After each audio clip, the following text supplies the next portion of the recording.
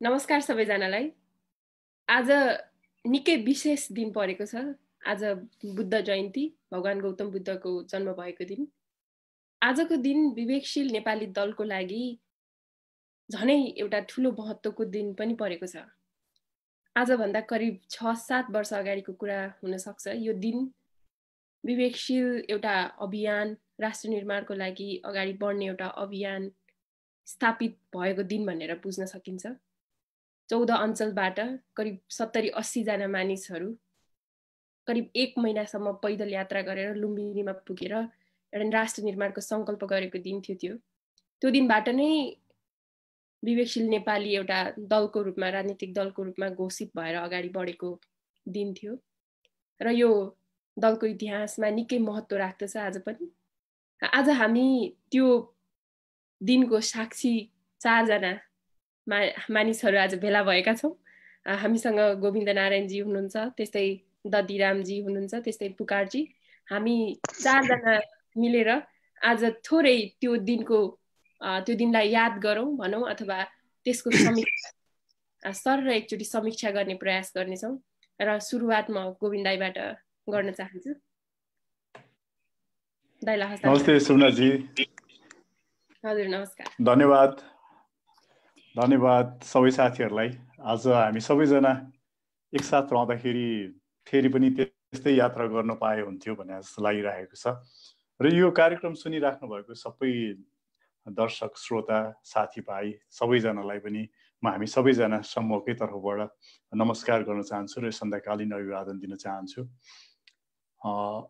अब पुनर्स्मृतिमा फर्केर हेर्दाखेरि त्यसका मिहिन कुराहरू केलाउन त धेरै धेरै गाह्रो होला।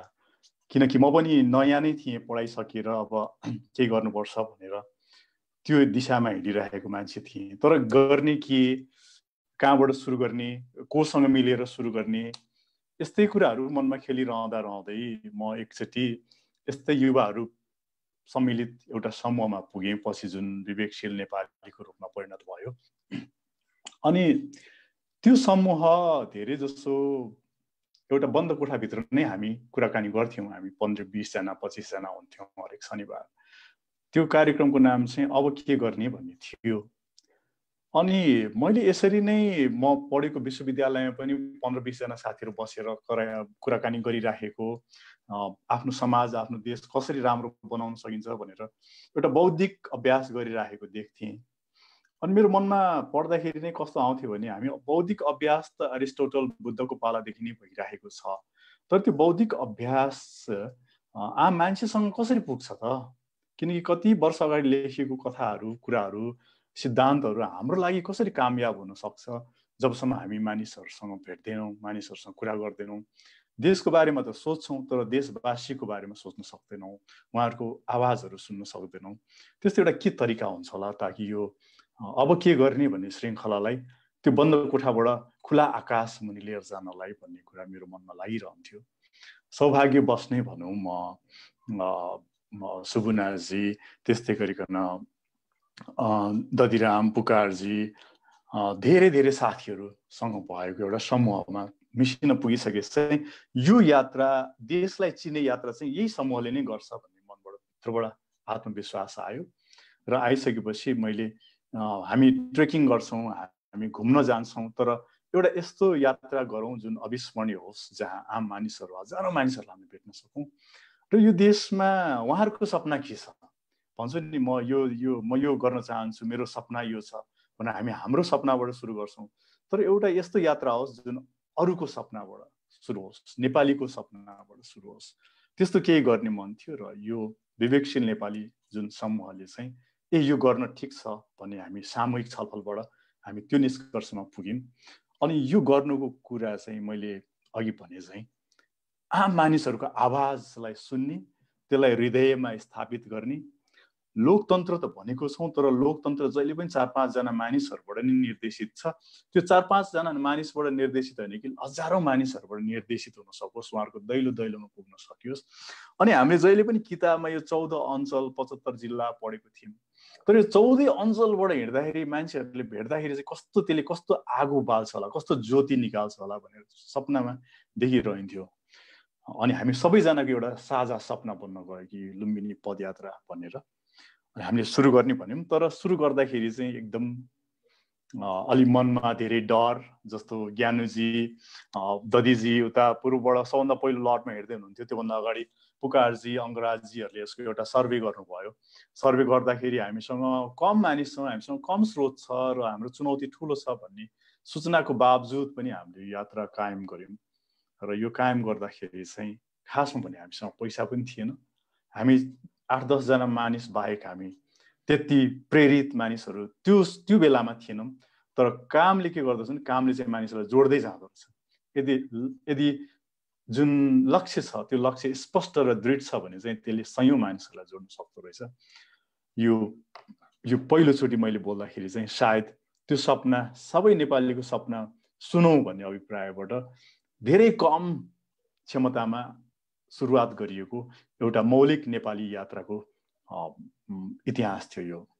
सुगनाजी मैले यति भन्दै अब फेरि अरू साथीहरूको पनि सुन्दै अझै थप्दै जान चाहन्छु। हजुर। हामी मध्येमा दतिरामजी चाहिँ यस्तो व्यक्ति हुनुहुन्छ जो चाहिँ उहाँ लगायत ज्ञानुजी हुनुहुन्थ्यो होइन? उहाँहरूको एउटा टोली चाहिँ सबैभन्दा धेरै त्यो पदयात्रामा पनि सबैभन्दा धेरै दिन पैदल यात्रा गरेको टोली हो टिम हो। र उहाँको त्यो टिमको तर्फबाट त्यो अनुभव कस्तो थियो है? त्यो के का लागि थियो भन्ने विषयमा पनि थोरै दधिरामजीले बताइदिनु हुन आग्रह गर्छ। हुन्छ धन्यवाद। सुभनाजी सबैलाई नमस्ते र बुद्ध जयन्तीको शुभकामना बुद्धले देखाएको बाटोमा हामी सबै हिँड्न सकौँ। आज सात वर्ष भएछ। म उन्नाइस बिस वर्षको एउटा छिटो त्यो अरू कसैले देखेको सकारात्मक सोचको बाटोमा चाहिँ म पनि पूर्व बाटो मिसिने अवसर पाएँ। यो एउटा जिन्दगीको सबैभन्दा ठुलो सिकाइ हो मेरो। म आज यहाँ उभिएर जसरी बोल्न सक्ने भएको छु र म स्पष्टसँग केही कुराहरू राख्न सक्ने भएको छु त्यो विवेकशील नेपालीको त्यो पैदल यात्राबाट सम्भव भएको छ र मेरो जीवनको सबैभन्दा ठुलो सिकाइ चाहिँ त्यो हो। यात्राको कुरा गर्नुपर्दा चाहिँ विवेकशील नेपालीले लुम्बिनी पदयात्रा गरिसके पछाडि चाहिँ गोविन्दाईहरू अङ्गराज दाईहरू पूर्व आइसके पछाडि चाहिँ कसरी पूर्वबाट यसलाई लिएर जाने भन्ने कुरा भइसके पछाडि मैले यो कुरा थाहा पाएँ र म चाहिँ जोडिएँ जोडिसके पछाडि चाहिँ हाम्रो मसँग यात्रा गर्नुहुने ज्ञानु बडाल दिदी सुरज दङ्गाल म र उज्जवल दाई हामी चारजनाले चाहिँ झापाको मुक्ति चोक बिर्तामोडको मुक्ति चोकबाट चाहिँ यात्रा सुरु गरेका थियौँ र आजकै दिन लुम्बिनीमा पुगेर त्यो यात्रालाई विसर्जन गरेका थियौँ। यात्रा धेरै राम्रो भएको थियो। यो चाहिँ यसले हामीलाई धेरै कुराहरू सिकाएको छ। एउटा मुख्य कुरा हामीले सिकेको भनेको चाहिँ एउटा निश्चित गन्तव्यमा हामी हिँड्यौँ र बाटो चाहिँ हामीले स्पष्ट देख्यौँ अथवा हाम्रो गन्तव्य चाहिँ स्पष्ट देख्यौँ भने हामीले जस्तो सुकै दुःख पिर व्यथा अभावहरू परे पनि हामी त्यसमा पुगेरै छाड्छु भन्ने कुरा चाहिँ हामीले त्यो यात्राले सिकाएको छ। म बिल्कुल त्यो यात्रामा नयाँ मान्छे थिएँ। मैले कसैलाई पनि चिनेको थिइनँ। र काठमाडौँबाट सुरु भएको अभियानलाई चाहिँ मैले पूर्वमा ल्याएर मैले नै त्यसलाई अगाडि बढाउँदै हिँड्दाखेरि चाहिँ मैले बाटोमा धेरै साथीहरू चिने यही यात्रामा हिँड्ने नयाँ नयाँ साथीहरू जोडिँदै जोडिँदै जानुभयो। र यहाँबाट चाहिँ के हुन्छ नि एउटा सकारात्मक सोच अथवा सन्देश प्रवाह गर्नको लागि चाहिँ केही व्यक्तिहरूले बलिदानी दिनु आवश्यक छ। र हामी चाहिँ सत्तरी सालमा त्यो बलिदानीमा मिसिएका रहेछौँ। र तीबाट चाहिँ नेपालमा अलिकति सकारात्मक सोचको अब युवाहरू प्रत्यक्ष राजनीतिमा आउनुपर्छ युवाहरूले नै समाज बदल्नुपर्छ यस्ता फरक फरक कामहरू लिएर आउनुपर्छ भन्ने अभियानहरू चाहिँ सुरु भएको थियो र त्यो अभियानको अभियन्ता भएर हामी अगाडि बढ्न पाउँदा चाहिँ धेरै खुसी लागेको छ। यी कुराहरू छन्। हजुर थोरै थोरै यहाँले चाहिँ अझै पनि त्यो जसरी तपाईँहरू समूहमा बसेर हिँड्नुभयो नि तिस दिनसम्म त्यो बिचको यात्राको क्रममा भेटिएका मान्छेहरू गरेका गतिविधिहरू पनि थोरै अलिकति प्रश्न पारिदिनु न। एकचोटि स्मृतिमा ल्याउनु हजुर। हस् हस् धन्यवाद। त्यो यात्रा चाहिँ कस्तो थियो भने बिल्कुल नयाँ यात्रा थियो र खास यात्राको एउटा उद्देश्य भनेको चाहिँ नेपाली जनताहरूले युवाहरूले चाहिँ अब देखेको सपना के छ हाम्रो देशमा भनेर हामीले सपना सङ्कलन गरेका थियौँ र झापाबाट सपना सङ्कलन कार्यक्रम सुरु हुँदा चाहिँ सबै युवाहरूको एउटा साझा सपना रहेछ। हाम्रो देश अवश्य बनोस्। अब चाहिँ अलिकति राजनीतिक रूपमा पनि आमूल परिवर्तन लिएर चाहिँ राजनीतिक अस्थिरतालाई हटाओस् र वैकल्पिक शक्तिहरू पनि अब देशमा उदाउन् भन्ने सपना रहेछ। त्यो साझा सपना चाहिँ हामी लुम्बिनीमा पुगेर हेर्दाखेरि एउटा साझा सपना अब नेपाली राजनीतिमा युवाहरू आउनुपर्छ भन्ने सपना सङ्कलन गऱ्यौँ। र त्यो सँगै अर्को कुरा यात्रामा देखेका धेरै घटनाहरू छन्। हामीले यात्राको म मधेसमा सबैभन्दा बढी मैले यात्रा गरेँ एउटा मधेसको घटना सुनाउँछु। हामी विराटनगरबाट सबैभन्दा लामो यात्रा इनरवा इनरवाबाट चाहिँ हामी राजविराजसम्मको यात्रा हिँडेका थियौँ। त्यो यात्रा हिँडिसकेपछि राजविराजमा एउटा सखडा देवीको मन्दिर अलिकति वर तोपा भन्ने गाउँ छ। त्यो सायद तोपा भन्ने गाउँमा चाहिँ हामीलाई निकै डर भएको थियो र एउटा मधेसको त्यो समुदाय थियो। त्यहाँनिर चाहिँ नेपाली जनतालाई हेर्ने अनि नेपाली झन्डालाई हेर्ने त्यो बेग्लै खालको माहौल रहेछ। त्यो माहौलमा बसेर चाहिँ हामीले खास नेपाललाई बुझ्ने र नेपालीहरूलाई बुझ्ने र मधेसलाई बुझ्ने हामीले त्यो एउटा सिकाइ पाएका थियौँ। त्यहाँनिर चाहिँ मधेस भन्ने बित्तिकै हामीले अर्कै कुरा सम्झिँदा रहेछौँ तर मधेसमा पनि एउटा नेपाल रहेछ। त्यो नेपालभित्र पनि नेपालीहरू रहेछन्। हामीले भूगोलको आधारमा अथवा रङको आधारमा अथवा बसोबासको आधारमा चाहिँ हामीले नेपालीलाई नै नेपालीले विभेद गरिरहेका रहेछौँ भन्ने कुरा थाहा भयो। हामीसँग सानसानो झन्डाहरू हुन्थ्यो। त्यो झन्डाहरू एक एक पिस हुँदाखेरि उहाँहरूले चाहिँ मागेर राख्नुहुन्थ्यो र त्यो झन्डालाई चाहिँ सानो झन्डालाई पनि उहाँहरूले घरमा लगेर राख्नु भएको थियो र एकैछिनको हाम्रो चिना परिचयमा पनि उहाँहरूले हामीलाई एक रात घरमा राख्नुभयो र उहाँहरूसँग पनि खाने चामल तेल नुन नभइरहेको अवस्थामा चाहिँ छरछिमेकीहरूसँग मागेर विभिन्न खानेकुराहरू खुवाउनु भएको थियो। उहाँले त्यो गाउँ नै हामीलाई सबै घुमाउनु भएको थियो र हामीलाई त्यो मधेसमा हेर्दाखेरि यो मधेसको भूभाग भनेर बेग्लै नजरले हेरिरहँदाखेरि पनि हामीलाई चाहिँ त्यहाँ एउटा सानो नेपालको रूपमा चाहिँ हामीलाई त्यहाँ चिनाउनु भयो र यो नेपालै हो हामी नेपालमै बस्छौँ तर किन हामीलाई चाहिँ यी मानिसहरूले जहिले अपला अपहेलनाको रूपमा लिन्छन्? किन हामीलाई नेपालभन्दा पर राख्छन् भन्ने कुराहरू गर्नुभएको थियो। अनि ती कुराहरू त्यहाँबाट हामीले सिकेका छौँ र मधेसमा चाहिँ दुई किसिमको एउटा विभाजन रहेछ। एउटा मधेसमा बस्ने जो खास मधेसी छ ऊ चाहिँ आफ्नो पहिचानको लागि आफ्नो गरी खानको लागि दिनभर मिहिनेत गर्छ। त्योभन्दा अलिकति बजारमा अलिकति सहरमा बस्ने मानिसहरूले चाहिँ ती व्यक्तिहरूलाई टेकेर चाहिँ उनीहरूलाई टेकेर चाहिँ राजनीति गरिदिएर मधेसलाई नेपालबाट पर लान खोजिरहेको भन्ने कुराहरू त्यहाँबाट हामीले सिक्यौँ। त्यो पछाडि अलिक पर गइसके पछाडि पैसाको घाममा दुःखमा भोगमा अभावमा पनि हामी हिँडिरहेका थियौँ। कति ठाउँमा हामीले खानेकुरा खान पाएका थिएनौँ कति ठाउँमा बास बस्नको लागि ठाउँहरू पाएका थिएनौँ कति ठाउँमा कुनै बस्ती बजारै थिएनन् जङ्गलहरू थिए डर हुँदै हुँदै हुँदै प्रहरीको स्कटिङमा पनि हामी अगाडि बढिरहेका थियौँ। र अभावमा दुःखमा पनि घाममा पनि पानीमा पनि त्यो यात्रा चाहिँ हामीले सफल बनाएका थियौँ। यात्रा निकै राम्रो भएको थियो।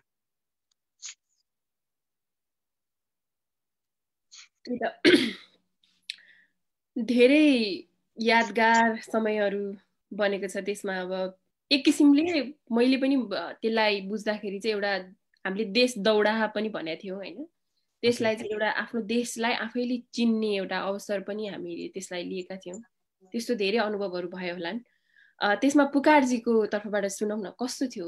पुकारजी चाहिँ सबै हेरिराख्नु भएको सबैको जानकारीको लागि चाहिँ उहाँ चाहिँ महाकालीबाट एउटा टोली सहित हिँडेर आउनु भएको थियो लुम्बिनीसम्म र बुद्ध जयन्तीको दिन उहाँ लुम्बिनी आइपुग्नु भएको थियो। र त्यो बिचमा कस्तो अनुभवहरू भए? कस्ता मान्छेहरू भेट्नुभयो? अहिले ददिदीले ददिजीले सेयर गर्नुभयो जस्तो कुनै सिकाइ भयो कुनै मनमा भएको एउटा रिफ्लेक्सन हामीलाई सेयर गर्न सक्नुहुन्छ कि पुकारजी?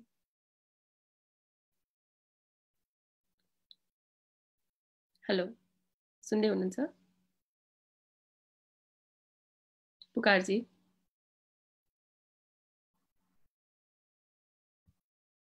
पुकारजी सुन्दै हुनुहुन्छ? केही प्राविधिक गडबडी भयो जस्तो महसुस भयो मलाई। उहाँको माइक्रोफोन म्युट ए सुन्दै हुनुहुन्छ अहिले पुकारजी? छैन। हुन्छ। त्यतिन्जेल चाहिँ म गोविन्द नारायणजीलाई थोरै बधाई दिन आग्रह गर्छु। उहाँ पनि मैले त्यो बेला सम्झेसम्म काठमाडौँबाट भीमफेदीको उकालो हुँदै त्यतातर्फ लाग्नु भएको थियो। केही दिन हिँड्नु भएको थियो। तपाईँ यही यही प्रश्नकै सेरोफेरोमा रहेर भन्नुपर्दा तपाईँको अनुभव कस्तो रह्यो? थोरै हामीलाई बताइदिनु न सबैलाई। हजुर धन्यवाद सुगनाजी मलाई हिँड्न भन्दा पनि अगाडि चाहिँ जुन दिन पैदल यात्रा सुरु भयो उज्जवलजी अनि त्यहाँबाट आएर ज्ञानु बरालजी दधिराम अरू धेरै साथीहरू पूर्वबाट हिँड्दाखेरि मलाई त्यो राति जब उहाँहरू हिँड्दै हुनुहुन्थ्यो हिँडाइको सुरुवात गर्दै हुनुहुन्थ्यो त्यो राति मलाई बिल्कुल निन्द्रा लागेन। मलाई के लाग्यो भने मैले कतै एउटा गल्ती पो गरिरहेको छु कि? यत्रो हजारौँ किलोमिटर भनौँ न सबैजना हिँड्दैछन् सयौँ किलोमिटर हिँड्दैछन् हजारौँ भन्दा पनि जसमा तिन चार सय किलोमिटर हिँड्नु भनेको सामान्य हुन आउँछ। कतै मैले एउटा गल्ती पो गरिरहेको छु कि मभन्दा उमेरमा कम उमेर भएका साथी भाइ बहिनीहरूलाई चाहिँ यो एउटा कठिन यात्रामा हिँडाएर मैले कतै पाप पो गरिराखेको छु कि कतै एउटा गल्ती पो गरिराखेको छु कि भन्ने एउटा ठुलो ग्लानी थियो त्यो रात मलाई। त्यो रातमा म खास गरिकन सुत्न सकिनँ किनकि यो यो यो पदयात्रालाई कोलिड गरिरहँदाखेरि मलाई त्यो अत्यन्तै डर अत्यन्तै पीडा अत्यन्तै छटपट्टिको रात थियो त्यो त्यो पहिलो रात चाहिँ। त्यो आजसम्म या मेरो जीवनभर म त्यो एउटा गरमको रातको रूपमा लिन्छु होला। र सबभन्दा खुसीको रात चाहिँ फेरि हामी जब जब हामी लुम्बिनी पुग्यौँ जब प्रणय श्रेष्ठले राति गीत गाउनुभयो त्यो दिन पुरै चन्द्रमा जुन लागिराखेको थियो त्यो दिन चाहिँ फेरि सबैभन्दा खुसीको दिन थियो मेरो लागि। त्यस कारण ज्ञानु बराल हाम्रो ददिजीहरू पूर्वबाट हेर्दाखेरिको रात त्योभन्दा अगाडि रात चाहिँ मेरो अत्यन्तै दुःखद थियो र सबभन्दा सुखद रात चाहिँ बुद्ध पूर्णिमाको दिन थियो जुन दिन हामी पदयात्रा पूर्ण गरेका थियौँ। त्यो दुइटा चाहिँ अत्यन्तै संस्मरण योग्य कुरा छ। अनि मेरो यात्रामा मात्रै कुरा गर्दाखेरि चाहिँ म एकचोटि स्याङ्जाबाट हिँडेँ सेकेन्ड लटमा फर्स्ट लटमा काठमाडौँबाट हिँडेँ। स्याङ्जाबाट हिँड्दाखेरि सुस्मिता बस्नेत एरिका अधिकारी उज्जवल थापा म हामी चारजना थियौँ। अनि काठमाडौँबाट हिँड्दाखेरि चाहिँ सागर तिवारी र म दुईजना थियौँ। बिचमा अरू साथीहरू पनि जोडिँदै जानुभयो। मलाई पहिलो चरणको हिँडाइमा याद भएको कुरा चाहिँ दुईवटा छ। एउटा सागर र म हिँडिरहेको थियौँ। अनि कुलेखानी आइपुग्नुभन्दा अगाडि एक दिन हामी ठ्याक्कै त्यो पानी घट्टमा बेसार पिँधिराखेको ठाउँमा पुग्यौँ। अनि बेसार पिँधिरहेको ठाउँमा हामी दुईजनै यहाँनिर युवा अघि सर्छ देश अघि बढ्छ विकल्प खोज्दै बस्ने कि विकल्प आफै बस्ने भन्ने ब्यानर छातीमा लगाएर हिँडिरहेको थियौँ। अनि त्यहाँ बेसारे एकजना बेसारे दाईले चाहिँ अत्यन्तै खुसी भएर बेसार हाम्रो लुगामा दलिदिनु भयो है। अनि हेर्दाखेरि आफू पनि बेसारे जस्तो भइएछ होइन। एक मन असाध्यै खुसी लाग्यो। ओहो ल यस्तो अँगालो पाइयो भनेर अनि अर्को मन चाहिँ के लाग्यो लुगाभरि बेसारै बेसार लाग्यो। अब यो धुनी कहिले हो? कहाँ गएर यो बेसार चाहिँ हटाउने हो जस्तो लाग्यो। पछि त्यो यात्राको दौरानमा चाहिँ मलाई के लाग्यो भने म पनि एउटा बेसारे नै जस्तो रहेछु। जीवनमा जुनसुकै पेसा गरे पनि यो बेसारले मेरो जिन्दगीमा चाहिँ एउटा नयाँ रङ थपिदिएको छ जस्तो लाग्यो। पहिलो कथा चाहिँ त्यो थियो। अनि जब हामी भन्ज्याङ कट्यौँ भन्ज्याङ कटिसकेपछि सागरमा हिँड्दाखेरि चाहिँ एउटा बाटोमा एउटा म निकै पटक लडेँ सागर पनि लडेँ। हामी त्यो सल्लाहको पातमा चिप्लेर म चाहिँ धेरै नै लडेँ। अब आज यो अन्तिम रात हो कि क्या जस्तो पनि लाग्यो कतै। लड्दा लड्दा पुरा चाकको हड्डीहरू दुख्ने भइसकेको थियो होइन। तर अन् त्योभन्दा अगाडि पुग्नुभन्दा अगाडि चाहिँ होइन अब यसमा भन्नुपर्ने लाज मान्नुपर्ने कुरा केही छैन शरीरकै अङ्ग होइन। अनि त्यहाँबाट त्यो बिचमा चाहिँ एउटा कुकुरले सागर र मलाई यस्तो पछ्यायो कि त्यो कुकुर हामीसँग बिस पच्चिस किलोमिटरसँगै हिँड्यो क्या। अनि यसो मनमा के लाग्यो भने ओहो सायद यो कुकुरले पनि हामीलाई साथ दिइरहेछ कि? यो पनि इमान्दारको प्रतीक हो। होइन हामी जहाँ जे खायो यसले पनि त्यही खान्छ हामीलाई पछ्याइरहेछ। त्यो बिस पच्चिस किलोमिटर उसले यात्रालाई यति सजिलो बनाइदियो कि सागर र हाम्रो साथी भयो त्यो कुकुर। पछि हामी चुनावमा स्वतन्त्र भएर उठ्दाखेरि पनि कुकुरै चुनाव चिन्ह लिएथ्यौँ। बाटोमा त्यो यादगार यादगार पहिलो चरण हेरोनासम्म पुग्दाखेरिको यादगार त्यो दुईवटा घटना चाहिँ मेरो लागि अत्यन्तै संस्मरणीय छ सुगुनाजी। धेरै रोचक लाग्यो चाहिँ। अब यसो हेर्दाखेरि म चाहिँ यो छलफल निकै रोचक भइरहेको महसुस गरिरहेको छु होइन? अब हाम्रो पनि खुल्दै छ भित्रबाट। त्यसमा अब पुकारजी अघि प्राविधिक गडबडीको कारण हामीसँग आउन सक्नु भएको थिएन लाइभमा अहिले उहाँको मलाई मलाई अहिले उहाँको प्रविधिक पक्ष सुधारिसकेको म मैले जानकारी प्राप्त गरेको छु। उहाँलाई पनि थोरै अब महाकाली मेचीबाट हामीले सुन्यौँ काठमाडौँबाट हामी फेरि लुम्बिनी पुग्यौँ। अब स्याङ्जाबाट पनि पुग्यौँ। अब पश्चिम महाकालीबाट लुम्बिनीसम्म आउँदाखेरिको कथा हामी थोरै सुनाउन पुकारजीको तर्फबाट। सम्पूर्णलाई नमस्कार। गोविन्दाई नमस्ते दादी नमस्ते। एकदम उहाँले सबैले भन्दै गर्दाखेरि म फेरि त्यही बेला पुगेँ।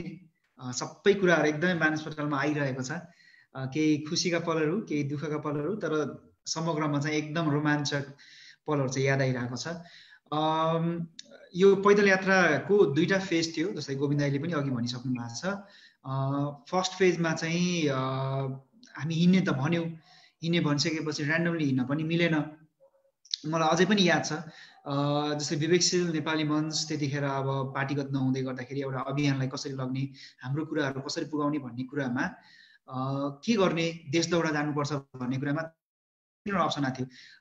गाडीमा जाने त्यसपछि साइकलमा अनि सकभर छिटो छिटो चाहिँ एकदमै धेरै ठाउँ भ्याउने हिसाबले। तर पछि त्यो मन्थन गर्दै गर्दाखेरिको म अझै पनि याद छ। जस्तै गोविन्द दाई त्यसपछि उज्जवल दाई लगायत जति पनि साथीहरू हुन्छ हाम्रो त्यहाँ। चपल कारखानामा हामी बस्दै गर्दाखेरि यो चाहिँ मेसेज चाहिँ अलिकता डिप नै जानुपर्छ र त्यो सजिलो तरिकालाई होइन गाह्रो तरिकाले गाह्रो इन द सेन्स हामी आफैले गाह्रो गरेर जानुपर्छ बिस्तारै बिस्तारै जानुपर्छ भन्ने कुरामा सबभन्दा बेस्ट के भन्छ पैदलै पुरै नेपाल हिँडौँ भन्ने हिसाबले चाहिँ अब त्यहाँ डिस्कसनमा चाहिँ जम्मा चार पाँचजना छ सातजना मात्र थियौँ सुरुमा हामी त्यो डिस्कसन गर्दै गर्दाखेरि तर पछि ल ठिक छ भन्दै गर्दाखेरि त्यो चाहिँ एकदमै दुःखै गरेर गाह्रै गरेर हाम्रो मेसेजहरू चाहिँ पुगाउनु पर्छ बिस्तारै बिस्तारै पुगाउनु पर्छ भन्यो गाडीमा भएको सायद जहाँसम्म लाग्छ त्यो चार पाँच दिन छ सात दिन चौधवटा अञ्चलमा त्यसरी सकिन्थ्यो होला। र साइकलमा भए पनि त्यति लामो र त्यति त्यति धेरै हुन्थेन। सो हामीले चाहिँ पैदलै हिँडिने त्यसरी गऱ्यौँ र गरिसकेपछि ऱ्यान्डम पनि हिँड्नु मिलेन। त्यसले गर्दाखेरि पश्चिम र पूर्वमा अब हामीसँग त्यतिखेर जनशक्ति थोरै त्यसले गर्दाखेरि पूर्वमा हाम्रो अङ्गराज भारती दाईले लिड गरेर के कस्तो छ माहौल त्यहाँ? कहाँ कहाँ? हामी दिनमा कति हिँड्ने हिँडिसकेपछि कुन कुन ठाउँमा चाहिँ हामी साथीहरूले या कसरी हामीले म्यानेज गर्न सकिन्छ भन्ने कुराहरूमा अङ्गराज्य जानुभयो फर्स्ट फेजमा हाम्रो एसेसमेन्ट फेजमा र फर्स्ट फेजको एसेसमेन्ट फेजमा पश्चिम कमान्ड चाहिँ म आफै पनि गएको थिएँ मेची महाकाली के अरे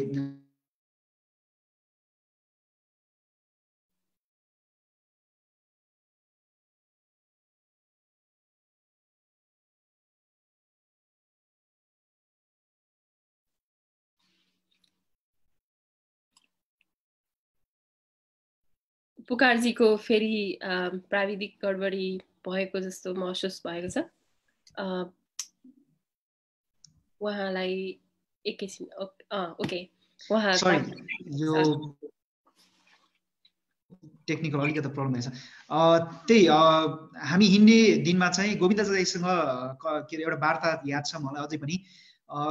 महाकालीबाट महेन्द्रनगरबाट हिँड्दै गर्दाखेरि भोलि बिहान हामी छ बजे त्यहाँ दशरथ चोकबाट त्यो शहीद चोकबाट हिँड्नु पर्ने र बेलुकासम्म राति दस बजीसम्म साथीहरूसँग त्यहाँको साथी दुई तिनजना साथीहरू चाहिँ महाकालीमा हिँड्नलाई तयार। अनि म चाहिँ खास सेतीबाट हिँड्ने धनगढीबाट हिँड्ने थियो र मैले खालि ब्याग मात्र दिनु। उहाँ म जुन हरियो ब्याग छ लगभग बिस पच्चिस तिस किलोको ब्यागहरू चाहिँ जुनमा चाहिँ पर्चा प्याम्पलेट नेपालको झन्डा लगायत सरसामग्रीहरू थियो। त्यो ह्यान्डओभर गर्न मात्र मैले साथीहरूलाई त्यहाँ आएको थिएँ। र बिहान चाहिँ उहाँहरूसँग खालि एउटा समन्वय गरेर म फेरि सेतीबाट हिँड्ने भनेको थिएँ तर महाकालीमा राति दस बजे एघार बजीसम्म कुरा गर्दै गर्दाखेरि साथीहरू all of sudden out of contact हुनुभयो। फोन पनि लागेन फोन पनि अफ भयो। जो साथीहरूले हामीसँग हिँड्ने कमिटमेन्ट गर्नुभएको थियो विभिन्न कारणवश सायद उहाँ जोड्न सक्नु भएन अनि त्यसपछि दाइ के गर्ने यो त अब पश्चिमबाट त गाह्रो भयो। यहाँबाट त अब के मिसन क्यान्सल गर्ने कि के गर्ने? अनि गोविन्द दाईले चाहिँ के भन्नु चाहिँ जहाँ गाह्रो हुन्छ त्यहीँबाट सुरु गर्नुपर्छ। यो परीक्षा हो। म रोको पनि थिएँ किनभने पहिलोमा नै एकदमै असफलता जस्तो फिल भयो। तर जब त्यहाँको टिमले इभन सुगुनाहरूसँग कुरा भएको थियो सो त्यो हिँड्नै पर्छ। हामीले त्यो क्विट गर्नुहुन्न महाकालीलाई छोड्नु नै हुँदैन। हामी सुरु नै गर्नुपर्छ जहाँबाट सुरु गर्नु पर्थ्यो त्यहीँबाट सुरु गर्नुपर्छ भनेर। त्यसपछि हाम्रो बिहान चाहिँ विभिन्न त्यहाँको संस्थाको साथीहरू भाइहरूले चाहिँ एक्लै भए पनि हिँड्नुपर्छ। त्यहाँ हाम्रो टिम काठमाडौँको टिम गोविन्द लगायत सुगुना सबैले चाहिँ हिँड्नुपर्छ भन्यो। त्यसपछि म आफैले लगभग जहाँसम्म लाग्छ दुईजनाको भारी एक्लै बोकेर भए पनि साथीहरूले महाकालीबाट त्यो माटो र पानी लिएर चाहिँ दसौँ चोकबाट चाहिँ हामी सुरु गरेको थियौँ। त्यो सुरुमा आँसु भए पनि त्यो खालको छुट्टै जोस थियो तिस चौतिस किलोको ब्याग दुई दुईवटा ब्याग त्यसपछि नेपाली झन्डाहरू सहित। अनि कति साथीहरूले त तपाईँलाई हामी छोटो बाटो अतरियादेखि लिएर त्यहाँसम्म पुगाइदिन्छौँ। बाइकमा तपाईँलाई हामी कसैले थाहा हुँदैन भनेर। होइन यो त एकदम सङ्कल्प गरेको छ हामी हिँडेरै जान्छौँ भन्दै गर्दाखेरि। त्यसरी हिँडेर हामीले एउटा महाकालीदेखि सेतीसम्म गयौँ र सेतीबाट अझै पनि याद छ ओम ट्रेड सेन्टरबाट त्यहाँको हाम्रो महेश शाह दाई त्यसपछि सुभाष साई दाई लगायत सुरेश बम अझै पनि याद छ र मसँग हिँड्ने मेरो आफन्त र विवेकशीलमै लाग्नु भएको वसन्त मल्ल सहित हामी अर्को दिन या दुई दिनपछि सेतीको धनगढीबाट हामी पैदल यात्रा गर्दै महाकालीको त्यो सकाएर सेतीबाट फेरि त्यहाँबाट मेरो बुवाले आमाले दिजुहरू सबैले टिका लगाएर एउटा खुसीको आँसुसहित हामीलाई अतरियासम्म चाहिँ पैदल यात्रा सबैजना लगभग बिस पच्चिसजनाको टोलीहरू थियो। उहाँहरू आएर बसन्त मल्ल र मलाई विदाई गर्नुभयो अतरियामा। त्यो विदाईको बेलामा महेश दाई सुभाष साई लगायत सुरेश बम मेरो आफ्नै दाजुहरू अरू साथीहरू सबैजना रुनु भएको थियो एकदमै रुनु भएको थियो। मलाई अझै पनि याद छ मैले आफूले पनि थाम्न सकेको थिएन। र त्यसरी गर्दै गर्दै हामी अगाडि बढेको थियौँ। निकै नै रोमाञ्चक निकै नै त्यो डिटर्मिनेसन कस्तो थियो भनेपछि बिचबिचमा हामीलाई अफरहरू आउँथ्यो कि तपाईँ यसरी यत्रो लामो हिँडिराख्नु भएको छ। ददीहरू त्यसपछि ज्ञानु बरालहरू त हिँडिराख्नु भएको थियो। अनि उहाँहरूलाई सम्झेर पनि हामीलाई होइन साथीहरू त्यत्रो हिँडिराख्नु भएको छ। अनि ज्ञानु बराल त अझै उहाँ त बिरामी पनि हुन्थ्यो। सन्चो पनि थिएन। त्यो बेला पनि हिँडिराख्नु भएको थियो। त्यसले गर्दाखेरि हाम्रो इन्सपिरेसन होइन त्यो अफर आए पनि हामी हिँड्छौँ नै भन्ने खालको थियो। सो त्यसले गर्दाखेरि कुनै कुनै पल बेलुका बेलुका पुग्ने बेला छ सात बजे पुग्दै गर्दाखेरि चाहिँ अलिकता कसरी थाहा पाउँदैन केही हुन्न भन्ने जस्तो हुन्थ्यो। तर होइन जुन खालको स्पिरिट जुन खालको हामीमा त्यो एउटा केही गर्छौँ हाम्रो आफ्नो कुराहरू राख्छौँ र त्यसको लागि चाहिँ हाम्रो एकदम फन्डामेन्टल भनेको हामी हिँड्छौँ नै भन्ने थियो। त्यसले गर्दाखेरि त्यहाँ कुनै ठाउँमा पनि हामी त्यो सहयोग लिने भएन। त्यो पार्टहरू र सबभन्दा इन्ट्रेस्टिङ पार्ट जुन हाम्रो कोलपुरमा उता मुगुदेखि हिँड्नु भएको हिरा नेपाली दाई उहाँलाई सम्झिन चाहन्छु। उहाँको भर्खर भर्खर बिहे भएको थियो। उहाँले चाहिँ हाम्रो मुगुदेखि जुम्लासम्म हिँड्नु भएको थियो र जुम्लादेखि हाम्रो गणेश बुढा र हाम्रो अङ्गराज भाती दाईले त्यहाँबाट हिँडिसकेपछि हामीलाई अतरियामा चाहिँ जोइन गर्नुभएको थियो। र त्यहाँदेखिको इन्सिडेन्ट चाहिँ एकदमै रमाइलो छ।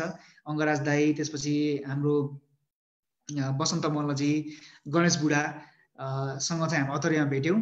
के अरे कोहलपुरमा तर कोहलपुरभन्दा अगाडि चाहिँ हामी भुरी गाउँदेखि हुँदै बर्दिया बर्दिया गुलरिया हुँदै नेपालगञ्ज नेपालगञ्जबाट फेरि हामी कोहलपुरमा चाहिँ भेटेको हो। त्यो बर्दियामा जुन हामीले बाटोहरू भित्रभित्र गाउँ गाउँमा हिँड्नु मुस्लिम बस्तीदेखि लिएर त्यहाँ हिँडेको हामीलाई साथ हामीलाई सहयोग हामीलाई खाना पानी त्यसपछि हाम्रो कुराहरू त्यसपछि त्यहाँको युथ लिडरहरू त्यहाँ युथमा बस्ने मान्छेहरू भयो सबैले हामीलाई साथ दिनुभएको हाम्रो कुराहरू सुन्नुभएको र कुनै कुनै ठाउँमा चाहिँ यो तिमीले गरेर केही पनि हुँदैन भन्ने खालको कतै ठाउँमा एकदम इन्करेजमेन्ट कुनै ठाउँमा चाहिँ हरेस हुँदै हामी चाहिँ त्यसरी अगाडि बढेको थियौँ।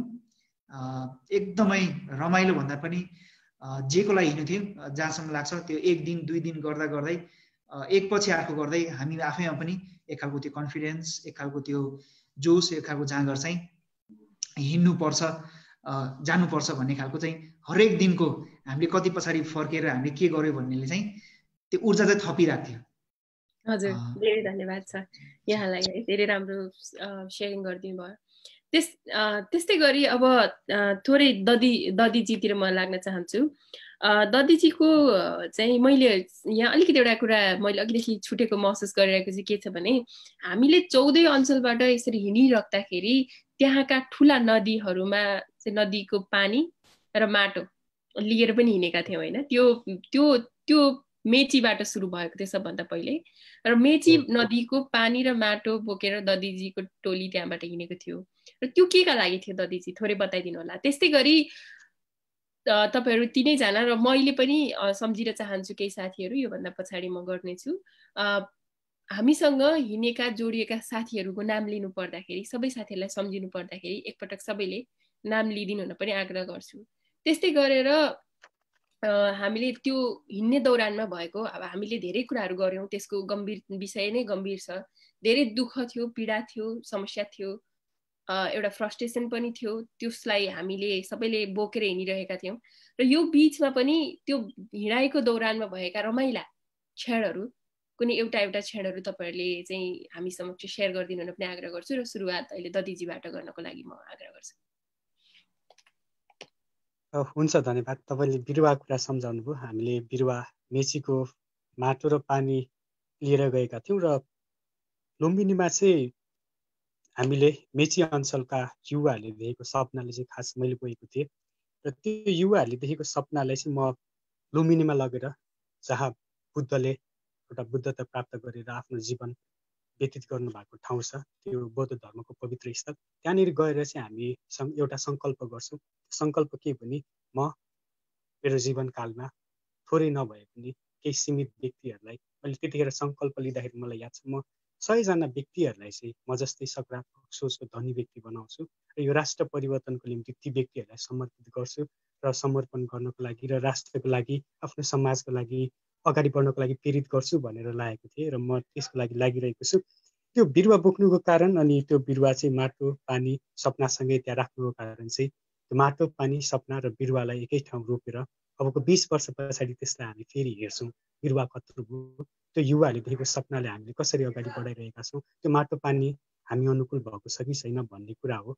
र बिरुवा हामीले पिपल रोपेका थियौँ त्यतिखेर मलाई याद छ। त्यो पिपल सात वर्ष भयो कत्रो भएको छ कस्तो भएको छ त्यो युवाहरूले देखेको सपनाहरू कहाँ छन् के गर्दैछौँ त्यो कुराहरूले चाहिँ हामीले सधैँ पोलिरहन्छ। मलाई चाहिँ पोल्ने कुराहरू चाहिँ त्यो र मैले लिएको सङ्कल्पलाई नै म चाहिँ स्थापित गर्नको लागि लागिरहेको छु र थोर बहुत के कति भयो मैले त्यो सयजना युवाहरूलाई प्रत्यक्ष सकारात्मक सोचको बाटोमा हिँडाउने प्रयास गरेको छु र म त्यसमा चाहिँ सके जस्तो लागिरहेको छ।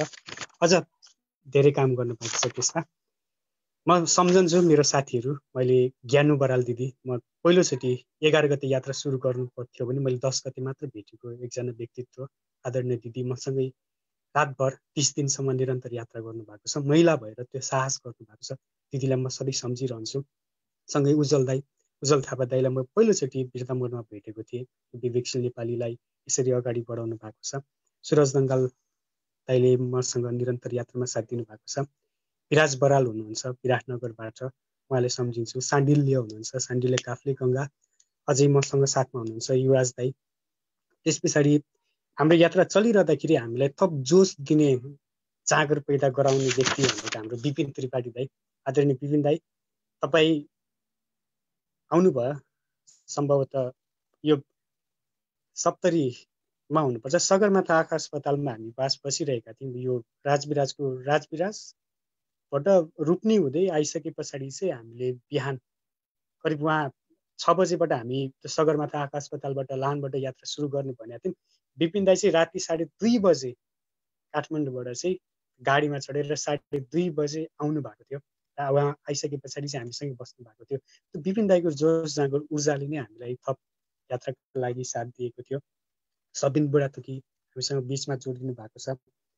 अनि महेश पाठक गोविन्द दाईहरूसँग चाहिँ हेटौडामा भेट भयो। सागरनाथ तिवारी उहाँहरूसँग बाटोमा भेट भयो। यति चाहिँ पूर्वबाट फुटबलसम्म हिँड्ने साथीहरूको टिम हो। बिचमा अरू केही थोरै थोरै हिँड्ने साथीहरू जोडिनु भयो। यो बिचमा हिँडिरहँदाखेरि पहिलो दिनको यात्रा एउटा घटना सुनाउँछु म। उज्जवल दाई हामीसँग हिँड्नु भएको थियो। म उज्जवल दाई ज्ञानु बराल र हाम्रो सुरज दङ्गाल दाई। हामी बिर्तानबाट यात्रा सुरु गरिसके पछाडि करिब मेरो घर दमकको अन्तिममा पर्छ। यो मोरङको सिमानामा पर्छ। दमकबाट पाँच किलोमिटर पश्चिममा आउनुपर्छ। र एउटा किर्खादेखि अलिकति पर सम्भवतः यो धरमपुर साइडमा हुनुपर्छ। हामी बिर्तानबाट हिँडिरहँदाखेरि चाहिँ साँझ पऱ्यो साँझ परिसके पछाडि चाहिँ करिब साढे छ सात बजेको समय थियो।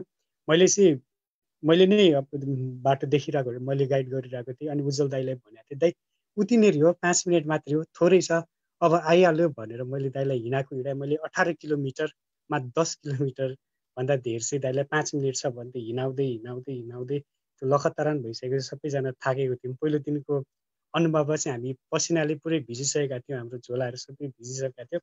कति हिँड्नुपर्छ भन्ने हामीलाई थाहा पनि थिएन। र उज्जवल दाइले मैले ढाँट्दै ढाँट्दै हाम्रो टिमलाई ढाँट्दै ढाँट्दै लिएर अठार किलोमिटरमा चाहिँ बाह्र तेह्र किलोमिटर मैले पाँच मिनट भनेर हिँडाएको थिएँ। दमक आइपुगेपछि रात पऱ्यो हामी हिँड्न नसक्ने अवस्था भइसकेपछि दमकबाट चाहिँ हाम्रो घर हामी घरबाट दाइहरूले बोलाएर बाइकमा आएका थियौँ र भोलिपल्ट बिहान हामी फेरि त्यही किर्खा भन्ने ठाउँमा पुगेर हामीले यात्रा सुरु गरेका थियौँ। र उज्जवल दाईले अझै पनि मलाई भेट्दा सधैँ भन्नुहुन्छ। मैले कतै जानु पऱ्यो केही गर्नु पऱ्यो अथवा बाटोहरू देखाउनु पऱ्यो भने कति टाढा छ भनेर देखाउनु पऱ्यो भने दाइले दुइटा गरेर भन्नुहुन्छ।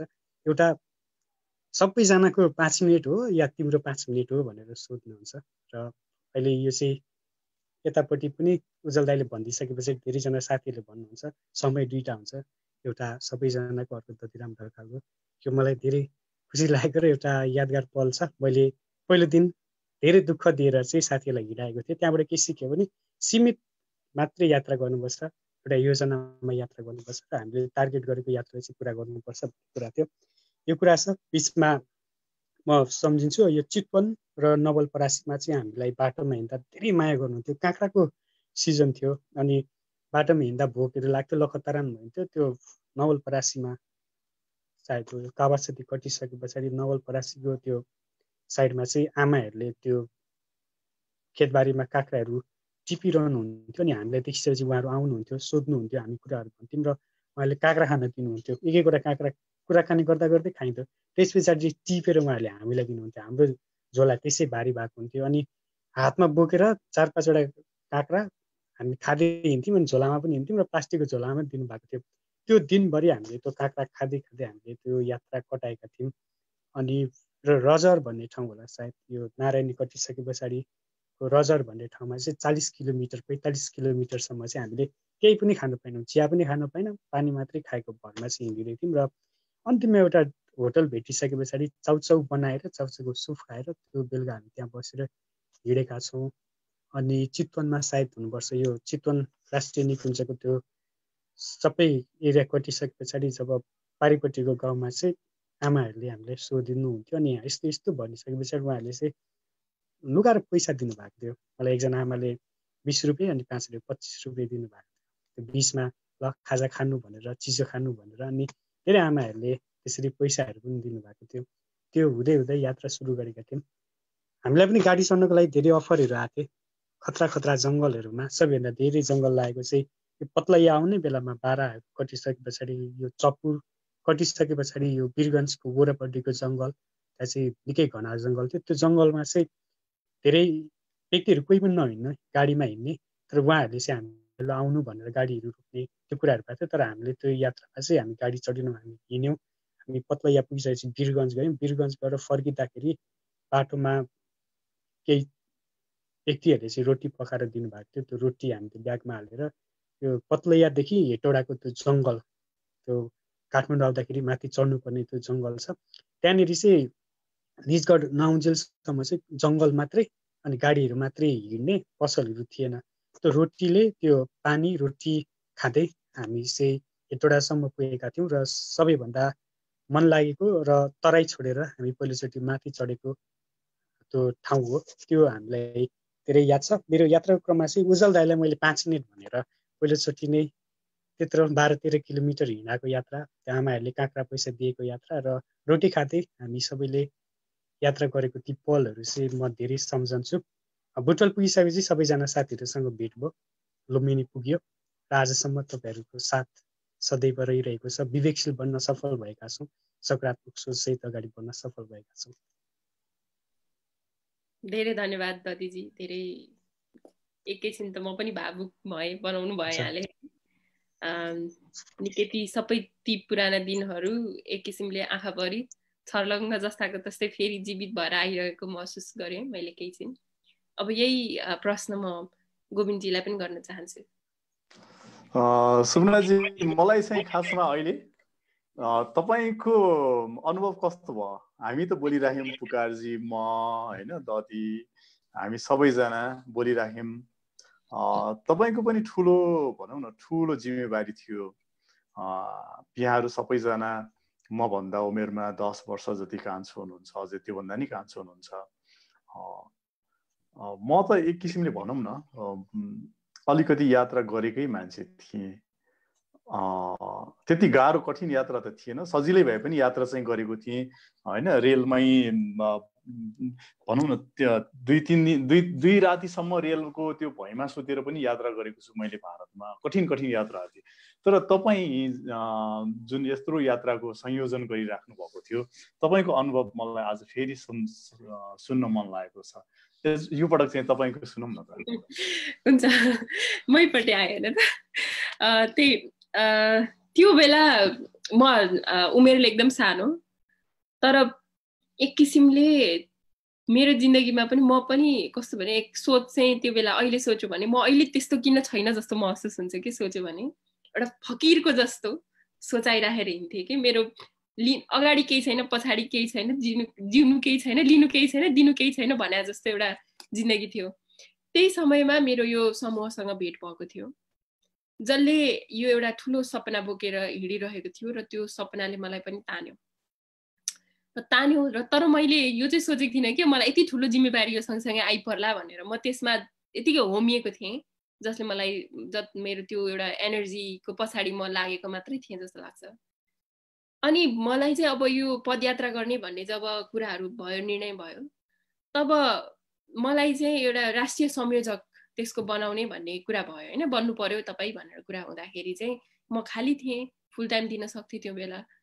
अनि त्यो हुँदाखेरि चाहिँ मलाई एक किसिमले ठुलो डर पनि लागेको थियो। त्योभन्दा अगाडि मेरो फाटो केही व्यवस्थापकीय अनुभवहरू त थिए तर मैले त्यति ठुलो काम कहिले पनि गरेको थिइनँ। अब यो मैले एउटा देशको नक्सा नै राम्रोसँग हेरेको रहेनछु त्योभन्दा अगाडि जस्तो लाग्यो कि त्यो हेर्दाखेरि? कहाँ कहाँ कुन जिल्लाहरू छन्? अञ्चलहरू कता कता पर्छन्? होइन कतिवटाको नामै सुनेको थिएन कि जस्तो जिल्लाहरूको नामै सुनेको थिएन कि जस्तो महसुस भयो। पहिलोपल्ट मैले नेपालको नक्सा राम्रोसँग हेरेको थिएँ। अनि त्यो सबै हेरेर बुझेर अनि त्यो हरेक ठाउँमा हाम्रो अब त्यहाँका सम्पर्क व्यक्तिहरू पत्ता लगाएर त्यो ठाउँमा कोही अब भोलि यात्रा गर्न आउँदैछ है भनेर उनीहरूलाई जानकारी दिनु पर्यो होइन? उनीहरूलाई त्योभन्दा पनि अगाडि त अझ फिजिबिलिटी स्टडी गर्न भनेर तपाईँ अङ्गराज दाई होइन गोविन्दजी तपाईँ भन्नाले है अनि त्यसपछि यतापट्टि पुकारजीहरू जानुभएको थियो। जाँदाखेरि हामीले त्यहाँनिरको अब वस्तुस्थिति कस्तो छ बजारहरू कस्तो छ खाने बस्न सक्ने अवस्था छ कि छैन हिँड्न सम्भव हुन्छ कि हुँदैन भनेर हामीले रिपोर्ट लिएर आएका थियौँ। त्यो सबै कुराहरूलाई म्यानेज गर्नुपर्ने होइन। त्यो ठुलो जिम्मेवारी थियो र त्यस सँगसँगै अब उहाँहरू हिँड्दै जाँदा पनि मलाई चाहिँ अब देशभरिबाट कलहरू आउँथे। एभ्री मिनटमा कल आउँथ्यो। ल यहाँनिर यसरी पैदल यात्रीहरू आइपुगेका थिए। एउटा पोस्टर दिएर गएका छन् यहाँ सम्पर्क नम्बर छ भनेर फोनहरू आइरहेको हुन्थ्यो कि अफिसमा चाहिँ। त्यो तयारीको अवस्थादेखि नै अब त्यसको लागि केही अब हामीलाई सानो हामीसँग पैसा त धेरै थिएन तर पनि केही न केही पैसाहरूको जरुरत पर्थ्यो। त्यो देश विदेशदेखि लिएर त्यहीँ हुने साथीहरूले जसले जे छ सहयोग गर्नुभएको थियो। त्यसमा अब मैले सम्झिनु पर्दाखेरि यता अफिसमा हाम्रो त्यो यात्रा गर्नुभन्दा करिब एक डेढ महिना दुई महिना अगाडिदेखि के तयारी थियो। त्यसमा अब उज्जवल थापा दाई हजुर गोविन्द दाई नै पढ्नुभयो। त्यस्तै हामीसँग जर्मनीबाट आउनुभएको बोधराज मास्केले पनि त्यो बेला एकदमै मद्दत गर्नुभएको थियो। त्यस्तै हामीसँग सन्नी अधिकारी अनि प्रणय श्रेष्ठज्यू सुनिता श्रेष्ठज्यू एरिका अधिकारीज्यू त्यस्तै ज्ञानु बराल गोविन्द तिमसिना अनि सन्तोष प्रधानज्यू उहाँको मित्र हुनुहुन्थ्यो अशोक नेउपाने त्यस्तै प्रमेश मानन्दरज्यूहरू उहाँहरूले एकदमै एकदमै हामीलाई इन्करेज गरिराख्नु भएको हुन्थ्यो समय समयमा मद्दत गरिराख्नु हुन्थ्यो सानो ठुलो भूमिकामा त्यहाँ काम गरिराख्नु भएको हुन्थ्यो। त्यस्तै अब विशेष गरेर पैसा व्यवस्थापन गर्ने काममा अर्जुन सिंह ठकुरीजीले धेरै मद्दत गर्नुभयो त्यो बेला। त्यस्तै हामीले खुल्ला आवेदन पनि आह्वान गरेका थियौँ। खुल्ला आवेदन आह्वान गरेर चाहिँ अब यो ठुलो एउटा राष्ट्र निर्माणको अभियान हुन लागेको छ। देशभरिबाट हामी चाहिँ देश दौडामा निस्किँदैछौँ। र अब यो अभियानमा चाहिँ तपाईँहरू कोही होमिन चाहनुहुन्छ पैदल यात्रा गरेर हामीसँग साथ दिन चाहनुहुन्छ भने चाहिँ ल फर्म भर्नुहोस् भनेर हामीले त्यो बेला अनलाइन अप्लाई गर अप्लाई गर्नको लागि आह्वान गरेको थियौँ। र त्यो बेला हामीलाई धेरै एप्लिकेसनहरू प्राप्त भएका थिए आवेदनहरू। त्यसमा चिरन राईज्यू आउनुभएको थियो। र धेरै अरू स्वयं स्वयंसेवकहरू पनि त्यसबाट जोडिनु भएको थियो। र स्वयंसेवकहरू पनि अब धेरैजना हुनुहुन्थ्यो। मलाई त कति अब त नाम पनि बिर्सिसक्यो होला होइन? त्यो माफ माफी चाहन्छु। र त्यसमा अब अहिले सम्झिनु पर्दा त्यसै सजिक सदीक्षाजी हुनुहुन्थ्यो सदीक्षा स्कारलेट थापा। ती साथीहरूले त्यहाँ रात दिन काम गरिराख्नु भएको थियो। त्यस्तै शिवाङ्गी तप तापरिया साथी हुनुहुन्थ्यो। उहाँहरूले त्यहाँ अफिसबाट पनि रात दिन त्यत्तिकै काम गरिराख्नु भएको थियो। अब पैदल यात्रा गर्नलाई हामीसँग फार्मबाटै जोडिएको हुनुपर्छ। मैले याद भएसम्म सागरनाथ तिवारीज्यू पनि त्यसरी नै जोडिनु भएको थियो फर्म भरेर उहाँ आउनुभएको थियो। मैले नै अन्तर्वार्ता लिएको थिएँ जस्तो लाग्छ उहाँको पहिलोपल्ट। र त्यसपछि हामीसँग विपिन त्रिपाठीज्यूले पनि एकदमै ब्याकग्राउन्डबाट मद्दत गर्नुभयो। त्यस्तै अङ्गराज भारतीजी। र हामीले छुट्याउनै नहुने भनेको त्यो बाटोमा हिँड्ने क्रममा हामीलाई थुप्रै सङ्घ संस्था लोकल त्यो मुफसलमा भएका मिडियाहरू तिनीहरूले ठुलो सहयोग गरेका थिए होइन? त्यस्तै जस्तो हामीले सम्झिनु पर्दाखेरि वीरगन्जमा हामीलाई चाहिँ कञ्चन झाजीको टिमले ठुलो मद्दत गरेको थियो। त्यसै हामीले गर्न सक्ने सम्पर्क गर्न सक्ने व्यक्तिहरू जसले समाजको लागि केही गर्दै हुनुहुन्छ कोही लागि परिराख्नु भएको छ ती साथीहरूले ठाउँ ठाउँबाट ठुलो योगदान गरिराख्नु भएको थियो। मलाई याद छ प्रणयजी र म चाहिँ बुटोलमा हुँदाखेरि बुटोलमा हामीले हामीले चाहिँ एउटा धर्मशालामा कुरा गरेका थियौँ र धर्मशालाले फ्रीमा बस्न खान उहाँहरूलाई व्यवस्थापन गरिदिएको थियो। र त्यो के भनौँ अब त्यो एउटा जोसले भरिएको एउटा अनुभव थियो। अहिले सम्झिँदाखेरि त्यो बेला हामीलाई खासै धेरै कुराको डर पनि नभएको त्रास पनि नभएको र त्यो काम गरिरहँदाखेरि झन्झन झन्झन आत्मसन्तुष्टि झन्झन खुसी महसुस भइरहेको सम्झिन्छु होइन? अहिले मैले त्यो त्यो दिनलाई फर्केर हेर्नु पर्दाखेरि चाहिँ एउटा एउटा तीर्थयात्रा गर्नलाई हामी तीर्थयात्रीहरू हिँडिरहेको जस्तो। महसुस गर्छु एउटा ठुलो महायज्ञ हुँदैछ बुद्ध जयन्तीको दिन लुम्बिनीमा। त्यो भ्याउनु छ हामीलाई भनेर हामी हिँडिरहेको जस्तो महसुस गर्थ्यौँ गर्छु। अनि त्यो बेलामा चाहिँ हामी सबैको मनमा त्योभन्दा अगाडिको अब अब के गर्ने भन्ने छलफल हाम्रो लामो चल्यो। त्यो छलफलमा हामी सधैँ जसो हामी पीडाहरू पोख्थ्यौँ हाम्रो फ्रस्ट्रेसनहरू पोख्थ्यौँ एउटा एउटा निम्नवर्गीय मध्यमवर्गीय परिवारमा हुर्किएको जन्मेको एउटा नेपाली युवाले भोगिरहेको समस्याहरू एउटा टेम्पोमा झुन्डिनु पर्दादेखि पेट्रोलको लाइन बस्नु पर्दादेखि बन्द हडतालको मारमा पर्नु पर्दादेखि समयमा संविधान नबन्दाखेरि खेप्नु परेको पीडाहरूदेखि होइन उच्च शिक्षाको लागि पैसा तिर्न नसकेको पीडाहरूदेखि त्यो काठमाडौँमा एउटा कोठे सानो कोठा लिएर डेरा बस्नु पर्दाखेरिको पीडाहरू गाउँमा घाँसको भारी लगाएर एउटा शिक्षक भएर काम गर्नु जानु पर्दाखेरिको र पर्याप्त पैसा त्यसबाट पनि नआउने र देशमा खासै केही हुँदैन भनेर एउटा चाहिँ विरक एउटा विरक्तपना जागृत भइरहेको होइन। मनमा उकुस मुकुस भइरहेको दुःखमा पीडामा वितृष्णाले भरिएको त्यो फुट्न लागेको स्थिति थियो हामी सबैको जस्तो लाग्छ। त्यो स्थितिमा हामीले यो आँटेका थियौँ। र यो काम गर्दाखेरि चाहिँ हामी जति जति मलाई कस्तो महसुस हुन्थ्यो साथीहरूलाई हेर्दा भने जति जति हामी पाइला चाल्दै थियौँ जति जति अघि बढ्दैथ्यौँ त्यो हरेक पाइलामा हामी त्यति त्यति यो सबै बोझहरू फ्याल्दै गइरहेको जस्तो हल्का हल्का हुँदै गइरहेको जस्तो त्यति त्यति झन्झनै त्यो एउटा भित्रबाट झन्झनै ऊर्जा आइरहेको जस्तो झन्झनै शक्तिशाली एउटा महसुस हुँदै गइरहेको जस्तो। त्यत्रो सयौँजना मान्छेको शक्ति एकै ठाउँमा एकत्रित हुँदाखेरिको त्यो एउटा छुट्टै अनुभूति थियो त्यो है। मेरो लागि चाहिँ एउटा स्पिरिचुअल जर्नी नै भयो भनौँ सोच्दाखेरि। र जुन दिन हामी त्यहाँ पुग्यौँ एक दिन अगाडि पुगेका थियौँ लुम्बिनीमा त्यहाँ पुग्दाखेरि चाहिँ त्यो गुम्बामा हामी भुइँमा सुतेका थियौँ होइन। सुकुल चट्ट ओछ्याएर कति ठाउँमा ओछ्याउने पनि थिएन तन्ना पनि थिएन सलहरू ओछ्याएर यत्तिकै सुतेका थियौँ सबैजना पल्टिँदाखेरि। राति चाहिँ त्यहाँ एकजना आनीले सबै गुम्बाभरि बत्तीहरू बालेको थियो। अनि आनीले चाहिँ हामीले नबुझ्ने भाषामा त्यो कोरियन गुम्बा थियो। कोरियन भाषामा गीत गाउँदै गीत गाउँदै त्यो एउटा सानो केही इन्स्ट्रुमेन्ट बजाउँदै हिँडिराख्नु भएको थियो होइन? अनि त्यो बेला चाहिँ मलाई एकदमै रुन आएको थियो कि? राति रातभरि निद्रा लागेर रोएर बसेको थिएँ कि म। अनि त्यो महसुस गर्दाखेरि चाहिँ अहिले सोच्यो भने चाहिँ एउटा आफूभित्रको पनि यात्रा थियो त्यो। र त्यो एउटा चाहिँ के भन्ने राष्ट्र निर्माणको लागि केही गरौँ भन्ने एउटा सङ्कल्पको यात्रा थियो एउटा दृढ विश्वासको यात्रा थियो भनौँ होइन? र अहिलेसम्म पनि त्यो अनुभव सम्झिँदाखेरि आज म किन यहाँ छु भनेर मैले कहिले प्रश्न गरेँ भने मलाई त्यसले उत्तर दिइरहेको हुन्छ। र सायद मलाई लाग्छ यो त्यही भएर हामी सबैको लागि धेरै धेरै महत्त्वपूर्ण समय दिन थियो त्यो जस्तो लाग्छ।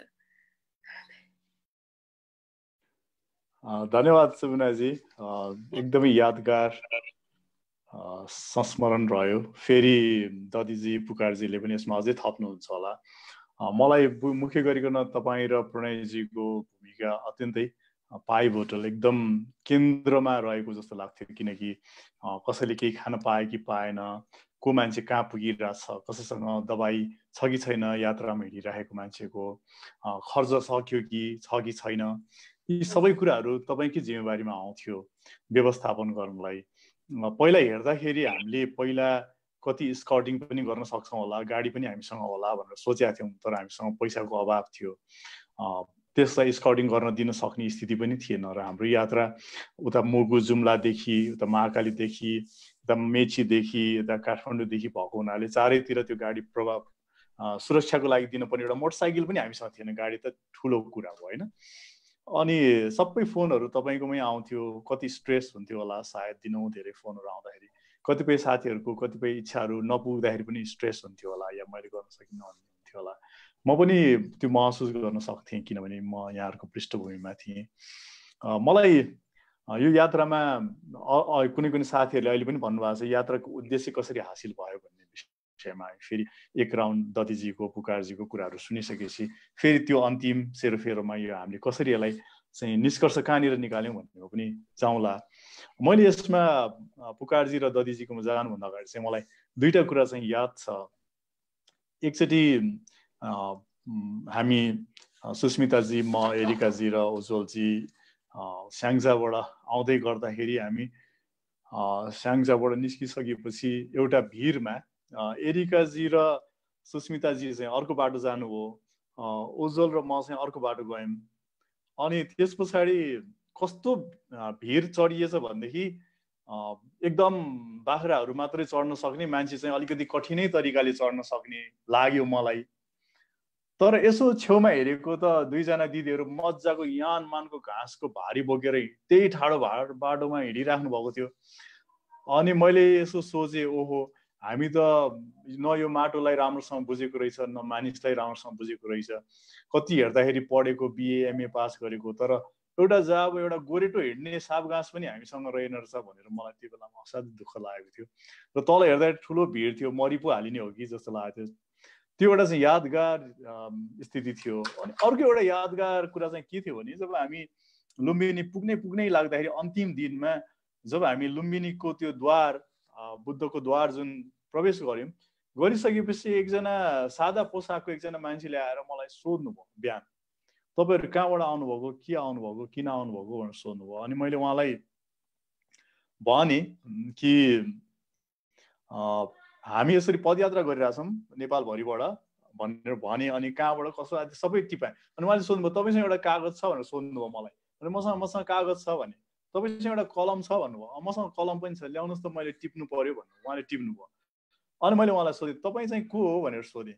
अनि उहाँले चाहिँ मलाई के भने म गुप्तचरको मान्छे हो भन्नुभयो। राष्ट्रिय अनुसन्धान विभागको मान्छे हुनुहुँदो रहेछ उहाँ।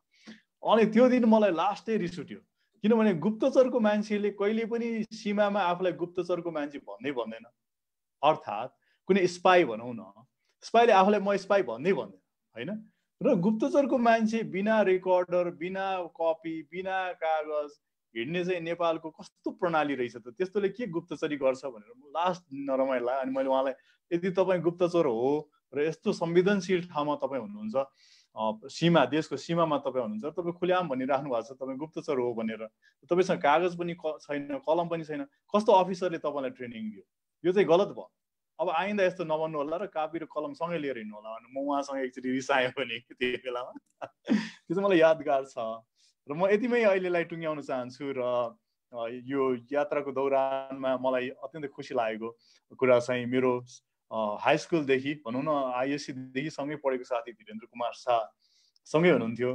अनि धेरै यात्रा उहाँसँग मैले गरेँ। मेरो जीवनमा उहाँले धेरै कुराहरू आँखा खोलिदिनु भएको थियो। मैले अझै मधेसलाई राम्रोसँग बुझ्ने मौका पाएँ। एउटा दोस्ती भनेको कस्तो हुन्छ भन्ने राम्रोसँग बुझ्न पाएँ। अनि यो यात्रामा मेरो बिसौँ वर्षदेखिको साथी पनि सँगै मैसँग हिँडि हिँडिराख्नु भएको थियो। त्यो चाहिँ अत्यन्तै यादगार थियो। तिनवटा यादगार चिजहरू चाहिँ त्यो बुद्ध भनौँ न बुद्ध बुद्ध शान्ति पदयात्रामा प्राप्त गरेको एउटा चाहिँ एकदम एकदम सुवर्ण अनुभवहरू थियो जस्तो मलाई लाग्छ। अब पुकारजीतिरै जाउँ अनि त्यस पछाडि सुमनाजीले अझै समन्वय गर्नुहुन्छ होला। धन्यवाद। हजुर। हस् थ्याङ्क यू अब मलाई अघिदेखि मेरो पालो कहिले आउला सोचिरहेको थिएँ। मलाई एकदमै सम्झिन मन एकदमै त्यो व्यक्तिगत तरिकाले एकदमै जहिले पनि मैले भन्ने त्यो प्राउड फिल भन्दा पनि त्यसरी पनि हिँडिएको थियो। त्यो सम्झिन पनि एकदमै त्यो मन एकदमै भारी हुन्छ।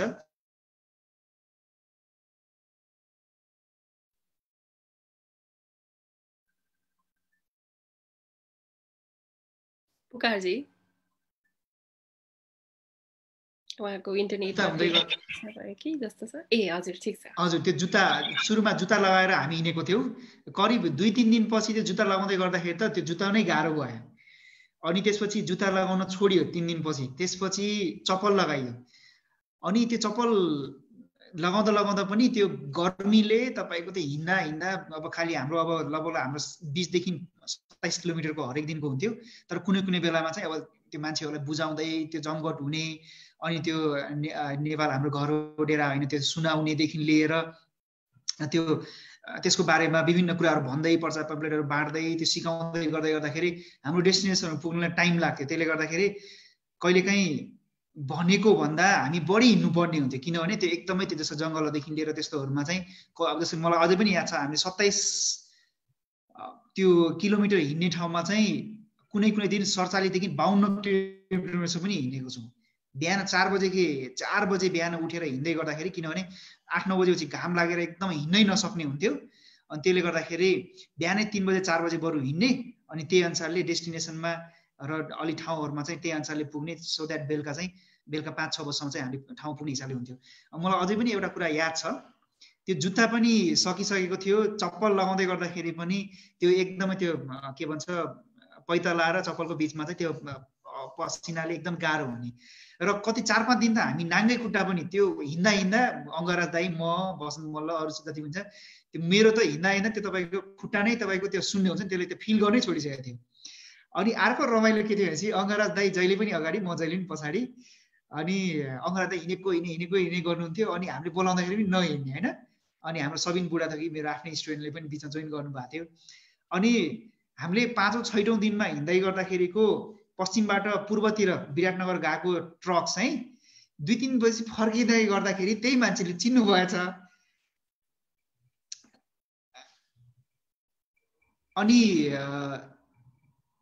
त्यो चिन्दै गर्दाखेरि जब त हामीले त्यो उहाँलाई देखिसकेपछि पानी हामीले पानी दिनुभयो। त्यो देख्दाखेरि चाहिँ साह्रै फ्रस्ट्रेट भइयो कि? ओहो! यो त पुरा उता पश्चिम के अरे पूर्व गएर पनि फर्किसक्यो। हामी हिँड्दैछौँ जाने बेला ओहो तपाईँ त कहिले पुग्ने? पुग्ने भन्नु है? त्यो दिन त साह्रै नरम लाग्यो। दिउँसो दुई तिन बजेको थियो। अनि अङ्गरा दाई चाहिँ अलिकति अगाडि गएर त्यो खोल्सातिर गएर अनि त्यो रुख थियो। रुख धेरै पनि थिएन त्यो उसमा तराईमा। त्यहाँ गएर डङरङ्गै लडिदिएर पानी खाएर अनि एकछिन सुतेको होला भन्छ। एक घन्टा भइसक्यो दुई घन्टा भइसक्यो। अङ्गरा दाई उठ्दै उठ्दैन। पछि त एकदम तनाव भएर मऱ्यो क्या हो? सरी त्यो दाइ गयो क्या एकदम गाह्रो भयो क्या? ब्लड प्रेसर यताउता उठाउँछु उठ्दै उठ्दैन होइन? खुट्टाले उठाउनु खोजेर यसरी उठाउनु खोजे उठ्दै उठ्दैन। एकदम तनाव भएको थियो। साँच्चीकै हामी त त्यो सिरियसली दाइ चाहिँ गयो भन्ने जस्तो भइसक्यो अनि त्यो चाहिँ एकदमै याद आउँछ त्यो नाङ्गै खुट्टा हिँडेको। त्यसरी त्यो यति हिँड्दा हिँड्दा हिँड्दा हिँड्दा हिँड्दा त्यो के थियो थाहा छैन हामीमा। हामीलाई अफर धेरै आउँथ्यो त्यो ट्रकको मान्छेले हामी पुगाइदिन्छौँ भन्थ्यो गाडीको मान्छे आउँथ्यो बसमा बस भन्थ्यो होइन? तर त्यो दिन चाहिँ जब त्यो ट्रकको हामीलाई छैटौँ सातौँ दिनमा गएको ट्रक चाहिँ फेरि फर्केर आउँथ्यो हामी हिँडिरहेको थियौँ। त्यतिखेर चाहिँ साह्रै फस्यो हामी तिन चार घन्टा त यतिकै घोत्रेर दाइ त दुई तिन घन्टा सुतेरै बिताउनु भयो। अनि हामी चाहिँ यत्तिकै बसेर चुपचाप त्यो अब त्यो उसमा जङ्गलमा बाटोमा अब के जाने कि हिँड्ने के गर्ने भनेर एकदमै भएको थियो। तर पछि फेरि अब पूर्वबाट त्यसै ददीहरू बहिनीहरू हिँडिरहेको ज्ञानहरू हिँडिरहेको उयोतिर सुनाहरू अनि प्रणय दाई उहाँहरू सबैले कोर्डिनेट गरिरहेको हुँदाखेरि हिँड्नुपर्छ हिँड्नुपर्छ भन्दै गर्दाखेरि त्यो चाहिँ अचम्मको इन्सपिरेसन थियो। त्यो इन्सपिरेसन चाहिँ अघि ददीले भने जस्तै बाटोमा भेट्ने जति पनि हाम्रो आमाहरू बुवाहरू भाइहरू साथीहरू अनि उहाँहरूले जुन आफ्नो सपनाहरू लेख्नुहुन्थ्यो भन्नुहुन्थ्यो मसँग त्यो क्यामेरा थियो सानो क्यामेरा। अहिले पनि मेरो युट्युबमा लगभग लगभग धेरै भिडियोजहरू मेरोमा त्यसो विवेकशीलको हाम्रो युट्युबमा चाहिँ छ अहिले पनि छ। तिन चार मिनट चाहिँ त्यो हुरी बतास चलेको हिँडेको छ। म फेरि पनि अब अब चाहिँ म सेयर गर्दै गर्छु। त्यो कुराहरू चाहिँ एकदमै बिर्सन सकिँदैन।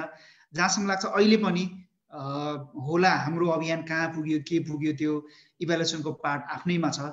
तर हामीले जुन देखाएको बाटो छ हामीले हिँडेको बाटो छ हामीलाई देखाएको बाटो छ हामीले पुरै पनि बिर्सिसकेको छैनौँ आउट अफ ट्र्याक पनि भएको छैनौँ।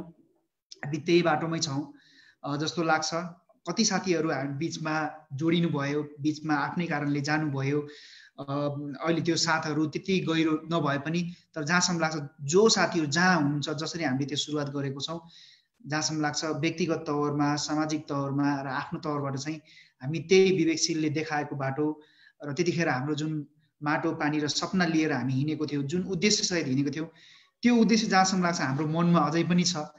सायद त्यसै कारणले गर्दाखेरि विवेकशीलको मूल मर्म अझै पनि मरेको छैन। र यति भन्दै गर्दाखेरि मलाई अझै पनि याद छ धनगढीबाट मेरो बुवा जो अहिले हुनुहुन्न एक डेढ वर्ष भयो बित्नु भएको र मेरो आमा चालिस पैँतालिस दिन जति भयो लगभग डेढ वर्ष जति भयो हामी अहिले सँगै छैनौँ। यो लकडाउनको बेलामा कोरोनाको उसको बेला पनि एक्लै हुनुहुन्छ। उहाँहरूले भनेको अझै पनि सम्झिन्छु सबै छोड्नु यो विवेकशील तिमीले हिँडिरहेको बाटो चाहिँ नछोड्नु बुवाको अन्तिम पनि थियो। त्यसले गर्दाखेरि खुसी लाग्छ यही बाटोमा छौँ। अहिले पनि हामीले जुन अभियान तरिका गरिरहेको छौँ यही बाटोमै छौँ र यही बाटोमै नै हिँड्ने प्रण गरेर अघि बढिरहेको छौँ। धन्यवाद। इमोसनल भयो। थप्न चाहनुहुन्छ कि यसमा?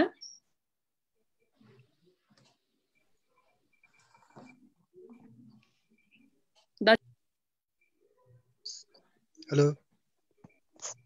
अब पुगर दाईको कुरा सुने मैले। थप्नुपर्ने कुरा के छ भने त्यो विवेकशील नेपालीको त्यो एउटा मूल्य मान्यतालाई चाहिँ हामीले स्थापित गराएको र विवेकशील बाटो चाहिँ हामीले खनिदिएको हामीले नै विवेकशील नेपालीलाई अवश्य त्यो युवाहरूले जे सपना देख्नु भएको थियो त्यसलाई साकार गर्नको लागि हामी नै अगाडि बढ्नुपर्छ भन्ने चाहिँ होइन। हामी चाहिँ एउटा बाटो मात्रै भयौँ साधन मात्रै भयौँ साध्य चाहिँ अरू कोही छ। र अब चाहिँ नेपाली युवाहरूलाई चाहिँ हामीले अब चाहिँ तपाईँहरू आउनुहोस्। हामीले चाहिँ एउटा बाटो देखाइदिउँ युवाहरूको सपनाहरू सङ्कलन गरेका छौँ। नेपालले के गर्न खोजिरहेको छ? नेपाली जनमानसले के कुरा सोचिरहेछन् भन्ने कुरा हामीसँग स्पष्ट एउटा धारणा छ एउटा खाका हामीले निर्माण गरिसकेका छौँ। त्यो बाटो हामी तपाईँलाई देखाउँछौँ। तपाईँहरू चाहिँ अब विवेकशील नेपालीबाट चाहिँ अब विवेकशील समाज निर्माणको लागि र राजनीतिलाई चाहिँ सुसंस्कृत राजनीति स्थापनाको लागि तपाईँहरू जानुपर्छ भनेर हामीले जुन बाटो तयार गरेका थियौँ त्यो बाटो चाहिँ हामी पुरा गर्न सफल भएका छौँ। त्यसो हुनाले हामी विवेकशील नेपालीहरू चाहिँ हामी चाहिँ सामाजिक रूपमा अभियानहरू सुरु गर्छौँ। हामीले नै चाहिँ राजनीतिक परिवर्तन गर्न सक्दैनौँ र युवाहरूलाई खुला आह्वान गर्ने कुरा के हो भने हामीले देखाइदिएको बाटोमा अब तपाईँहरू आएर चाहिँ त्यसलाई युवाहरूले देखेको सपनालाई साकार गर्नुपर्छ। तपाईँहरू लाग्नुहोस् भन्न चाहन्छु। अर्को कुरा चाहिँ यो बिचमा बोली र व्यवहारहरू चाहिँ फरक फरक कुराहरूले चाहिँ नेपाललाई अगाडि बढ्न नदिएको हामीले बिचमा धेरै कुराहरू थाहा पायौँ। युवाहरूसँग लाखौँ युवाहरूसँग कुरा हुँदाखेरि चाहिँ बोली एउटा छ व्यवहार अर्को छ। यो कुराहरूले चाहिँ हामीलाई हाम्रो देशलाई पछाडि पार्ने रहेछ। सँगै अर्को चाहिँ हामीले यात्रामै हामीले भेटाएको यो बात त्यो बात देश भयो बर्बाद यसो हुनाले कुनै पनि बातको पछाडि नलागिकन अवश्य हामी अगाडि बढ्नुपर्छ भन्ने कुरा त्यहाँबाट सिकेका छ। बिचमा नेपालको मध्यवर्ती क्षेत्र मिड पोइन्ट छ त्यो मिड पोइन्टमा पुगिसके पछाडि चाहिँ हामी यता पूर्वबाट गएको टोलीहरूमा चाहिँ त्यो मिड पोइन्टमा पुगिसके पछाडि चाहिँ एक किसिमको आनन्द खुसी र त्यहाँ मैले सिकेको कुरा चाहिँ हामी कुनै पनि कुराको त्यो अन्धभक्त भएर एकरो रूपमा कुनै पनि कुराको पछाडि लाग्नु हुँदैन। त्यो सायद गोविन्द दाईले भन्नुभयो होला हामी चरमपन्थी भएर होइन नरमपन्थी भएर त्यो मध्यबिन्दुमा उभिएर चाहिँ हरेक कुरालाई हेर्नुपर्छ भन्ने कुरा थियो। मैले त्यहाँबाट चाहिँ अनुभव गरेको कुरा चाहिँ हामी जुनसुकै कुराको नि बिचमा उभिनुपर्छ मध्यस्थकर्ताको रूपमा उभिनुपर्छ र एउटा मध्यम मार्गलाई चाहिँ हामीले अप्नाएर अगाडि बढ्नुपर्छ भन्ने कुरा त्यो मिड पोइन्टमा पुगेपछि मैले याद गरेको थिएँ। यो बिचमा मैले दुईवटा व्यक्तिको नाम छुट्याएको छु। अघि दाइले सम्झाइदिनु भयो। कमला नदी यो पूर्वबाट हामीले हिँड्दाखेरि कमला नदीमा हामीलाई वसन्त अधिकारी दाइले जो उहाँ चाहिँ गरिखान देऊ अभियान सुरु गरेर चाहिँ यो तराईको बेडलाई धेरै युवाहरूसँग जोड्नु भएको थियो। वसन्त अधिकारी दाइले जनकपुरसम्म हामीलाई साथ दिनुभएको छ। अनि जनकपुर पुगिसकेपछि जनकपुरमा बिर्सन नहुने नाम तपाईँले सम्झाइदिनु भएको छ। जनकपुर सायद धीरेन्द्र दाई बिना अधुरो हुन्छ र विवेकशील नेपाली पनि धीरेन्द्र दाई बिना अधुरो हुन्छ। धीरेन्द्र दाईले चाहिँ जनकपुरमा धेरै साथ दिनु भएको छ। दुईजना दाईहरूलाई धेरै सम्झिन चाहन्छु र अहिले चाहिँ वीरगन्जमा तपाईँले भने चाहिँ सम्झिनुपर्छ। कञ्चन झा दाई उहाँलाई पनि धेरै धेरै सम्झन चाहन्छु। अब युवाहरूको पालो छ। युवाहरूले चाहिँ हामीले देखाइदिएको बाटोमा तपाईँहरू आएर चाहिँ अब देशको लागि के गर्नुपर्छ भन्न चाहन्छु। धेरै धन्यवाद छ दादीजी यहाँलाई पनि। अब थोरै अन्त्य अन्त्यतिर आइसकेका पनि छौँ हामी यो कार्यक्रमको र थोरै यो हिँड्यो यत्रो दिन हिँड्यो यतिका मान्छेले दुःख गरे होइन? र यतिका धेरै श्रम त्यहाँ खेर गयो। र यो के थियो त? तिम्रो कतै हामी हिँड्नेहरूको आत्मसन्तुष्टिको लागि मात्रै थियो कि? अघि मैले भने जस्तै त्यो एउटा कुण्ठा उकुस मुकुसबाट मुक्ति पाउन मात्रै हामी एउटा फकिर जस्तो हिँडिरहेका थियौँ कि? अथवा त्यसको कुनै ठुलो एउटा अर्थ थियो? भन्ने कुरामा चाहिँ म आफूलाई धेरै प्रश्न गरिरहेको हुन्छु समय समयमा होइन? र त्यसबाट मैले यसो सोच्दाखेरि चाहिँ एउटा के भेट्छु भने यसको यसलाई राजनीतिक अर्थमा हेर्दाखेरि चाहिँ हामीले एक किसिमले धेरै भन्ने पनि गरेका छौँ। एउटा माटो सुहाउँदो राजनीति मौलिक राजनीति गर्नु पर्यो नेपालमा। त्यो माटो सुहाउँदो राजनीति भनेको चाहिँ कस्तो हुन्छ त भन्ने पनि त्योभन्दा अगाडि हामीमा छलफल भएको थियो। र त्यो छलफलमा चाहिँ हामीले जहिले पनि नेपालका अहिलेका स्थापित राजनीतिक दलहरूले चाहिँ एउटा कुनै न कुनै आयातितवाद मार्क्स भयो माओ भयो होइन? प्रजातान्त्रिक सोचकै कुराहरू पनि धेरै पश्चिमा पश्चिमा राजनीतिक एउटा सोच सिद्धान्तबाट चाहिँ आकर्षित भएर अप्नाएको महसुस हामीले गरेका थियौँ। र त्यो बेला हामीले यो बुद्ध जयन्तीकै दिन त्यहाँ पार्नुको एउटा सार पनि के थियो भन्दाखेरि हामीले अब आफैभित्र चाहिँ खोजेर हाम्रो माटो सुहाउँदो राजनीतिक सिद्धान्त धार चाहिँ के हो त? एउटा राजनीतिक दलले पुरा गर्नुपर्ने एउटा सरकारले पुरा गर्नुपर्ने आम नागरिकको सपना के हो त? होइन नागरिक सब एउटा सरकार के को लागि एउटा राजनीति के का लागि गर्ने त भन्ने एउटा कुराको अर्थ पनि हामीले खोज्न खो त्यसको उत्तर हामी खोज्नको लागि एउटा खोजमा पनि निस्किएका थियौँ जस्तो मलाई महसुस हुन्छ। र त्यो खोज थियो एउटा। र त्यो खोजमा हामीले चाहिँ साँच्चीकै हामीले राजनीति गर्ने अब अगाडि बढ्ने ल जीवन समर्पित गर्ने तर के का लागि गर्ने त भनेर हामीले हरेक भेटेका मान्छेहरूलाई तपाईँको सपना के हो भनेर सोधेका थियौँ होइन? त्यो सपना सोद्धाखेरि चाहिँ पछि त्यो सङ्कलित सपनाहरू सबै केलाएर हेर्दाखेरि चाहिँ त्यहाँ मान्छेको धेरै ठुला ठुला सपना भन्दा पनि साना ता साना साना आम जनजीवनसँग सम्बन्धित सपनाहरू समस्याहरू चाहिँ टरेको सपना मात्रै थियो। जस्तो कोही बुढी आमालाई आफ्नो छोरो चाहिँ विदेशबाट फर्केर मेरो म मऱ्यो भने भोलि मेरो लास उठाउन मेरो विदेशमा भएको छोरा आइपुग्ला नपुग्ला भन्ने चिन्ताले बनेको सपना थियो होइन आइपुगोस् भन्ने। त्यस्तै अब कोही दुई चार घन्टा लगाएर ट्विनमा धाएर चाहिँ स्कुल जानुपर्ने बालबालिकाको लागि मेरो घर नजिकै स्कुल आओस् अथवा स्कुलसम्म जाने एउटा राम्रो ट्रान्सपोर्टेसन सुविधा होस् भन्ने थियो। त्यो त्यो सपनाहरू हेर्दाखेरि त्यो ठुलो कुरा थिएन तर त्यो भित्र एउटा वर्गीय असमानता लैङ्गिक असमानता एउटा राजनीतिक अस्थिरताबाट कुचलिएको पिचलिएको सङ्घर्षशील त्यो पढ्दाखेरि त्यो हेर्दाखेरि होइन? त्यो अझ त्यो समयलाई अझ हेर्दाखेरि भनेको तपाईँको जनआन्दोलन स्थगित भएको लगभग पाँच छ वर्षको बिचको थियो भने मान्छेहरूले त्यहाँ लेखेको थियो कि अब हत्या हिंसा नहोस् यो देशमा शान्ति आओस्। शान्ति भयो भने मेरो सपना पुरा हुन्छ भन्ने पनि थियो होइन? त्यस्तो साना साना मान्छेको एउटा बाँच्न पाउनुपर्ने सपना होइन? जीवित रहन पाउनुपर्ने सपना गरी खान पाउनुपर्ने सपना काम गर्न पाउनुपर्ने सपना आफ्ना छोरछोरीसँग सँगै बसेर गाउँमै एउटा चाहिँ सरल जिद्द जीवनयापन गर्न पाउनुपर्ने सपना थियो कि। अनि त्यसले चाहिँ मलाई मलाई र मलाई लाग्छ हाम्रो पार्टीलाई नै एउटा चाहिँ त्यसपछिको जिन्दगी समयमा चाहिँ एउटा अर्थ दियो कि अघि बढ्नको लागि। र हामीले हाम्रो अगाडि बढ्ने एउटा रिजन भेट्टायौँ भनौँ न।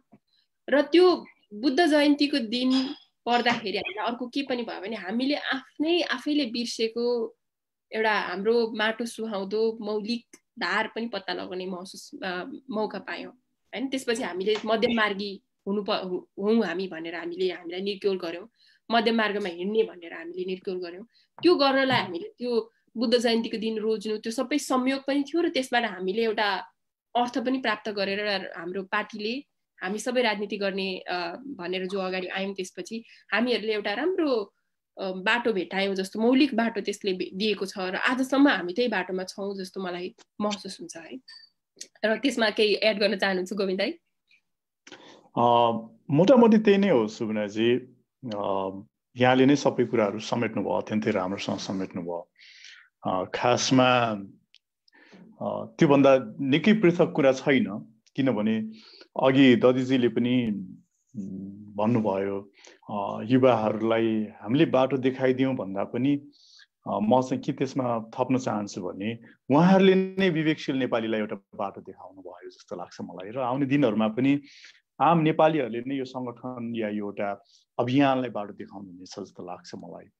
अब राजनीतिको त्यो बेलाको एउटा विद्यार्थीको रूपमा मैले हेर्दाखेरि चाहिँ हामीले सधैँ सहभागिताको कुरा गऱ्यौँ होइन? प्रजातन्त्र या लोकतन्त्रमा आम मान्छेहरूको सहभागिताको कुरा खोज्दाखेरि हामीले कतिपय विषयमा तरकारी आयात गरे जसरी नै विचारलाई पनि आयात गर्यौँ त्यो हाम्रो देशसँग आयातित विचारहरूले काम गर्न सक्दैनन्। किनभने मेरो आमाले खाना बनाउने तरिका र मेरो काकीले खाना बनाउने तरिका फरक भए जस्तै यो देशले खोजेको प्रश्नको उत्तर यो देशको नागरिकहरूसँग नै छ भन्ने कुरा त्यो पदयात्राले स्पष्ट गरिदियो। अनि सपना के छ त भन्दाखेरि नेपाललाई सिङ्गापुर बनाउने नेपालीको सपना रहेनछ नेपाललाई नेपालै बनाउने नेपाललाई समुन्नत बनाउने नेपाललाई सबैजना अटाउन सक्ने अघि ददिजीले भने जस्तै रङ्गको आधारमा विभेद नहुने नेपाली माटोमा रम्न सक्ने नेपाली खोज बन्न खोजिरहेको छन् हरेक मान्छे। उनीहरूलाई कुनै पार्टीले बनाइदिने कुनै देशले बनाइदिनु पर्छ भन्ने सोचै रहेन उनीहरूलाई हामी आफै बन्न सक्छौँ तर तिमीले होस्टेमा हैस्य गर राज्यले चाहिँ हामीले होस्टेमा हैस्य गर भनेको सपना त्यहाँनिर समेटियो जस्तो लाग्छ मलाई। त्यस कारण यसले मूलत सहभागितालाई अगाडि लिएर आयो। यसले समय सापेक्षतालाई अगाडि लिएर आयो। अनि यहाँले अघि भने जस्तै अतिवाद भन्दा पनि मध्यमार्गमा बसेर कुनै पनि प्रश्नको एकदम उग्र भन्दा पनि त्यसको शान्तिमा समाधान खोज सहभागितामा समाधान खोज अनि सहभागिता सँगसँगै सह अस्तित्वमा एउटा गरिब र एउटा धनी पनि एउटै ठाउँमा नआइकन उनीहरूको अस्तित्व सदैव रहिरहन सक्दैन भन्ने सन्देश यसले दियो। र यसको निचोडमा के थियो भन्दाखेरि चाहिँ हामीसँग संविधान पनि राम्रो हामीसँग विचारहरू पनि राम्रा हामीसँग सब चिज राम्रो तर हाम्रो राजनीतिमा या हाम्रो प्रशासनमा जहाँ जहाँ भूमिका निर्वाह गर्नुपर्ने नेतृत्वदायी भूमिका निर्वाह गर्नुपर्ने ठाउँहरू छ त्यहाँनिर चाहिँ मूल्य र मान्यताको अभाव रहेछ। होइन? त्यहाँ इमान्दारिताको अभाव रहेछ। नजाने कसैले पनि रहेन रहेछ। सबैले जाने रहेछ सबैले पढाए रहेछ। तर इमान्दारिताको कमी रहेछ पारदर्शिताको कमी रहेछ होइन? अनि त्यहाँबाट कसैको विरुद्धमा अन्याय गर्यो भने पनि उस विरुद्धमा औँला ठडाउने औँलाहरूको कमी रहेछ। त्यो साहस निकाल्ने त्यो एउटा चाहिँ छातीको कमी रहेछ र एउटा भनौँ न एउटा टोलीकै कमी रहेछ यो समग्र नेपालमा। त्यसकारण चाहिँ यो समग्र यात्राले अघि यहाँले भने जस्तो त्यो कुण्ठा दूर गर्ने त एउटा ठाउँमा होला त्यसलाई म थिएन भन्दिनँ म। तर यसले हामीलाई हामी जस्तो यो देशमा केही गर्न सकिन्छ भन्ने सकारात्मक सोच लिइरहेका मानिसहरू जुन ददिजीले पनि बारम्बार भन्नुहुन्छ नि सकारात्मक सोच लिएका मानिसहरू भनेर। त्यो सकारात्मक सोच भएका मानिसहरूलाई चाहिँ प्रश्न पनि यहीँ छ र उत्तर पनि यहीँ छ। माटो पनि यहीँको हो पानी पनि यहीँको हो। यहाँ एउटा वृक्ष रोप्यो भने त्यो वृक्षमा अनगिन्ती दाना फलहरू लाग्नेछ त्यस कारण हामीले बाहिर हेर्ने भन्दा पनि हामी देशभित्र हेरौँ र देशले कुन बाटो लिन खोजेको छ त्यो बाटोलाई अझै फराकिलो बनाऊ जहाँ आम नेपालीहरू अटाउन सकुन्। जहाँ वर्गीय अनि जातीय विविध नहोस् जहाँ सबैको समानताको लागि समानुभूति महसुस गर्न सकियोस् र सबैजनाले समवृद्धि हासिल गर्न सकियोस् भनेर त्यो एउटा सबैको सपना समेट्ने एउटा ठुलो दुर्लभ अनुभव हाम्रो हामीले प्राप्त गऱ्यौँ र त्यो दुर्लभ अनुभव फेरि आगामी पुस्ताहरूलाई नै दिन्छौँ र त्यो आगामी पुस्ताले पनि यसरी नै हामी त्यो बेलामा त प्रौढ पुस्ता हुन्छौँ होला नि त हामी होइन? अनि उहाँहरूले त्यसरी नै हाम्रो आँखा अझै छर्लङ्ग बनाइदिनुहुन्छ र यो देशको सपना सबै नेपालीहरूको सपना मिलेपछि नै देशको सपना हुन्छ। अनि सबै नेपालीहरू मिलेर नै त्यो सपना साकार गर्न सकिन्छ जसरी हामीले पदयात्रा सफल बनाउन सक्यौँ। त्यसरी नै यस्तै हामी जस्तै कैयन साथीहरू मिलेर चाहिँ पदयात्रा सफल बनाएको जस्तै सीमित स्रोत र साधनमा नेपालसँग पनि सीमित स्रोत र साधन छ। तर त्यो सीमित स्रोत र साधनको बावजुद पनि देशलाई हाम्रो पदयात्रा जसरी नै सफल यात्रा बनाउन सक्नुहुन्छ भन्ने चाहिँ मैले विश्वास लिन सकेँ। र मलाई लाग्छ दत्तीजीले अघि भने जस्तै पुकारजीको बुवाले भने जस्तै सुब्नाजीले भने जस्तै अनगिन्ती यो यात्रामा समेटिएका हामीले यहाँ नाम छुटाएका साथीले भने जस्तै यो सपना साकार गर्न सकिन्छ र त्यो सपना साकार गर्नको लागि सबभन्दा उत्तम उपाय भनेको चाहिँ आफ्नो विवेकलाई जगाउनु र कर्मलाई फिजाउनु नै हो जस्तो लाग्छ। यति भन्दै म मेरो भन्ने सारांशमा कुराहरू मैले यतिमै टुङ्ग्याउन चाहन्छु। सबैजनालाई धन्यवाद पनि दिन चाहन्छु। धेरै धन्यवाद छ सबैजनालाई। करिब करिब यो डेढ घन्टाको बसाइ भयो हाम्रो र त्यसमा हामीलाई सयौँले हेर्नुभयो देश विदेशबाट। र आज बुद्ध जयन्तीको दिन सात वर्षपछि हामीले निकै कति बेला कुनै बेला हामी भावुक पनि भयौँ कुनै बेला हामी हाँस्यौँ पनि। सम्झेर सबै कुराहरू लिएर आउँदाखेरि हाम्रो स्मृतिमा ताजा भएको छ। र यसको एउटा गहिरो राजनीतिक हिसाबले यसको गहिरो एउटा अर्थ पनि हामीले निकाल्न सफल भयौँ जस्तो महसुस भएको छ। र यो भिडियो रेकर्ड पनि भएको छ र आगामी दिनमा यसलाई धेरैले हेर्नु पनि होला। र यो हेरेर तपाईँहरूले यो अभियानलाई अघि ददिजीले भने जस्तो मेरो मनमा मैले यो यो मेरो उद्देश्यहरू म किन यहाँ गरिरहेको छु भन्ने कुरा सयजनालाई बुझाउन सक्यो भने मेरो उद्देश्य प्राप्त हुन्छ भने जस्तै सयबाट हजार हजारबाट लाख करोडौँ मानिसहरूले भोलि हाम यो बाटो पहिलाउनु हुनेछ यो बाटो हाम यो यसको अर्थ बुझ्नुहुनेछ भन्ने अठोट आशा लिएर आजको यो कार्यक्रम यहीँ सकिएको घोषणा गर्न चाहन्छु। धेरै धन्यवाद छ यहाँहरू सबैजनालाई। यो विशेष तयारी गर्नको लागि खटिनु भएको आलोकजी जो पर्दा पछाडिबाट काम गरिराख्नु भएको छ उहाँलाई पनि धेरै धन्यवाद दिन चाहन्छु।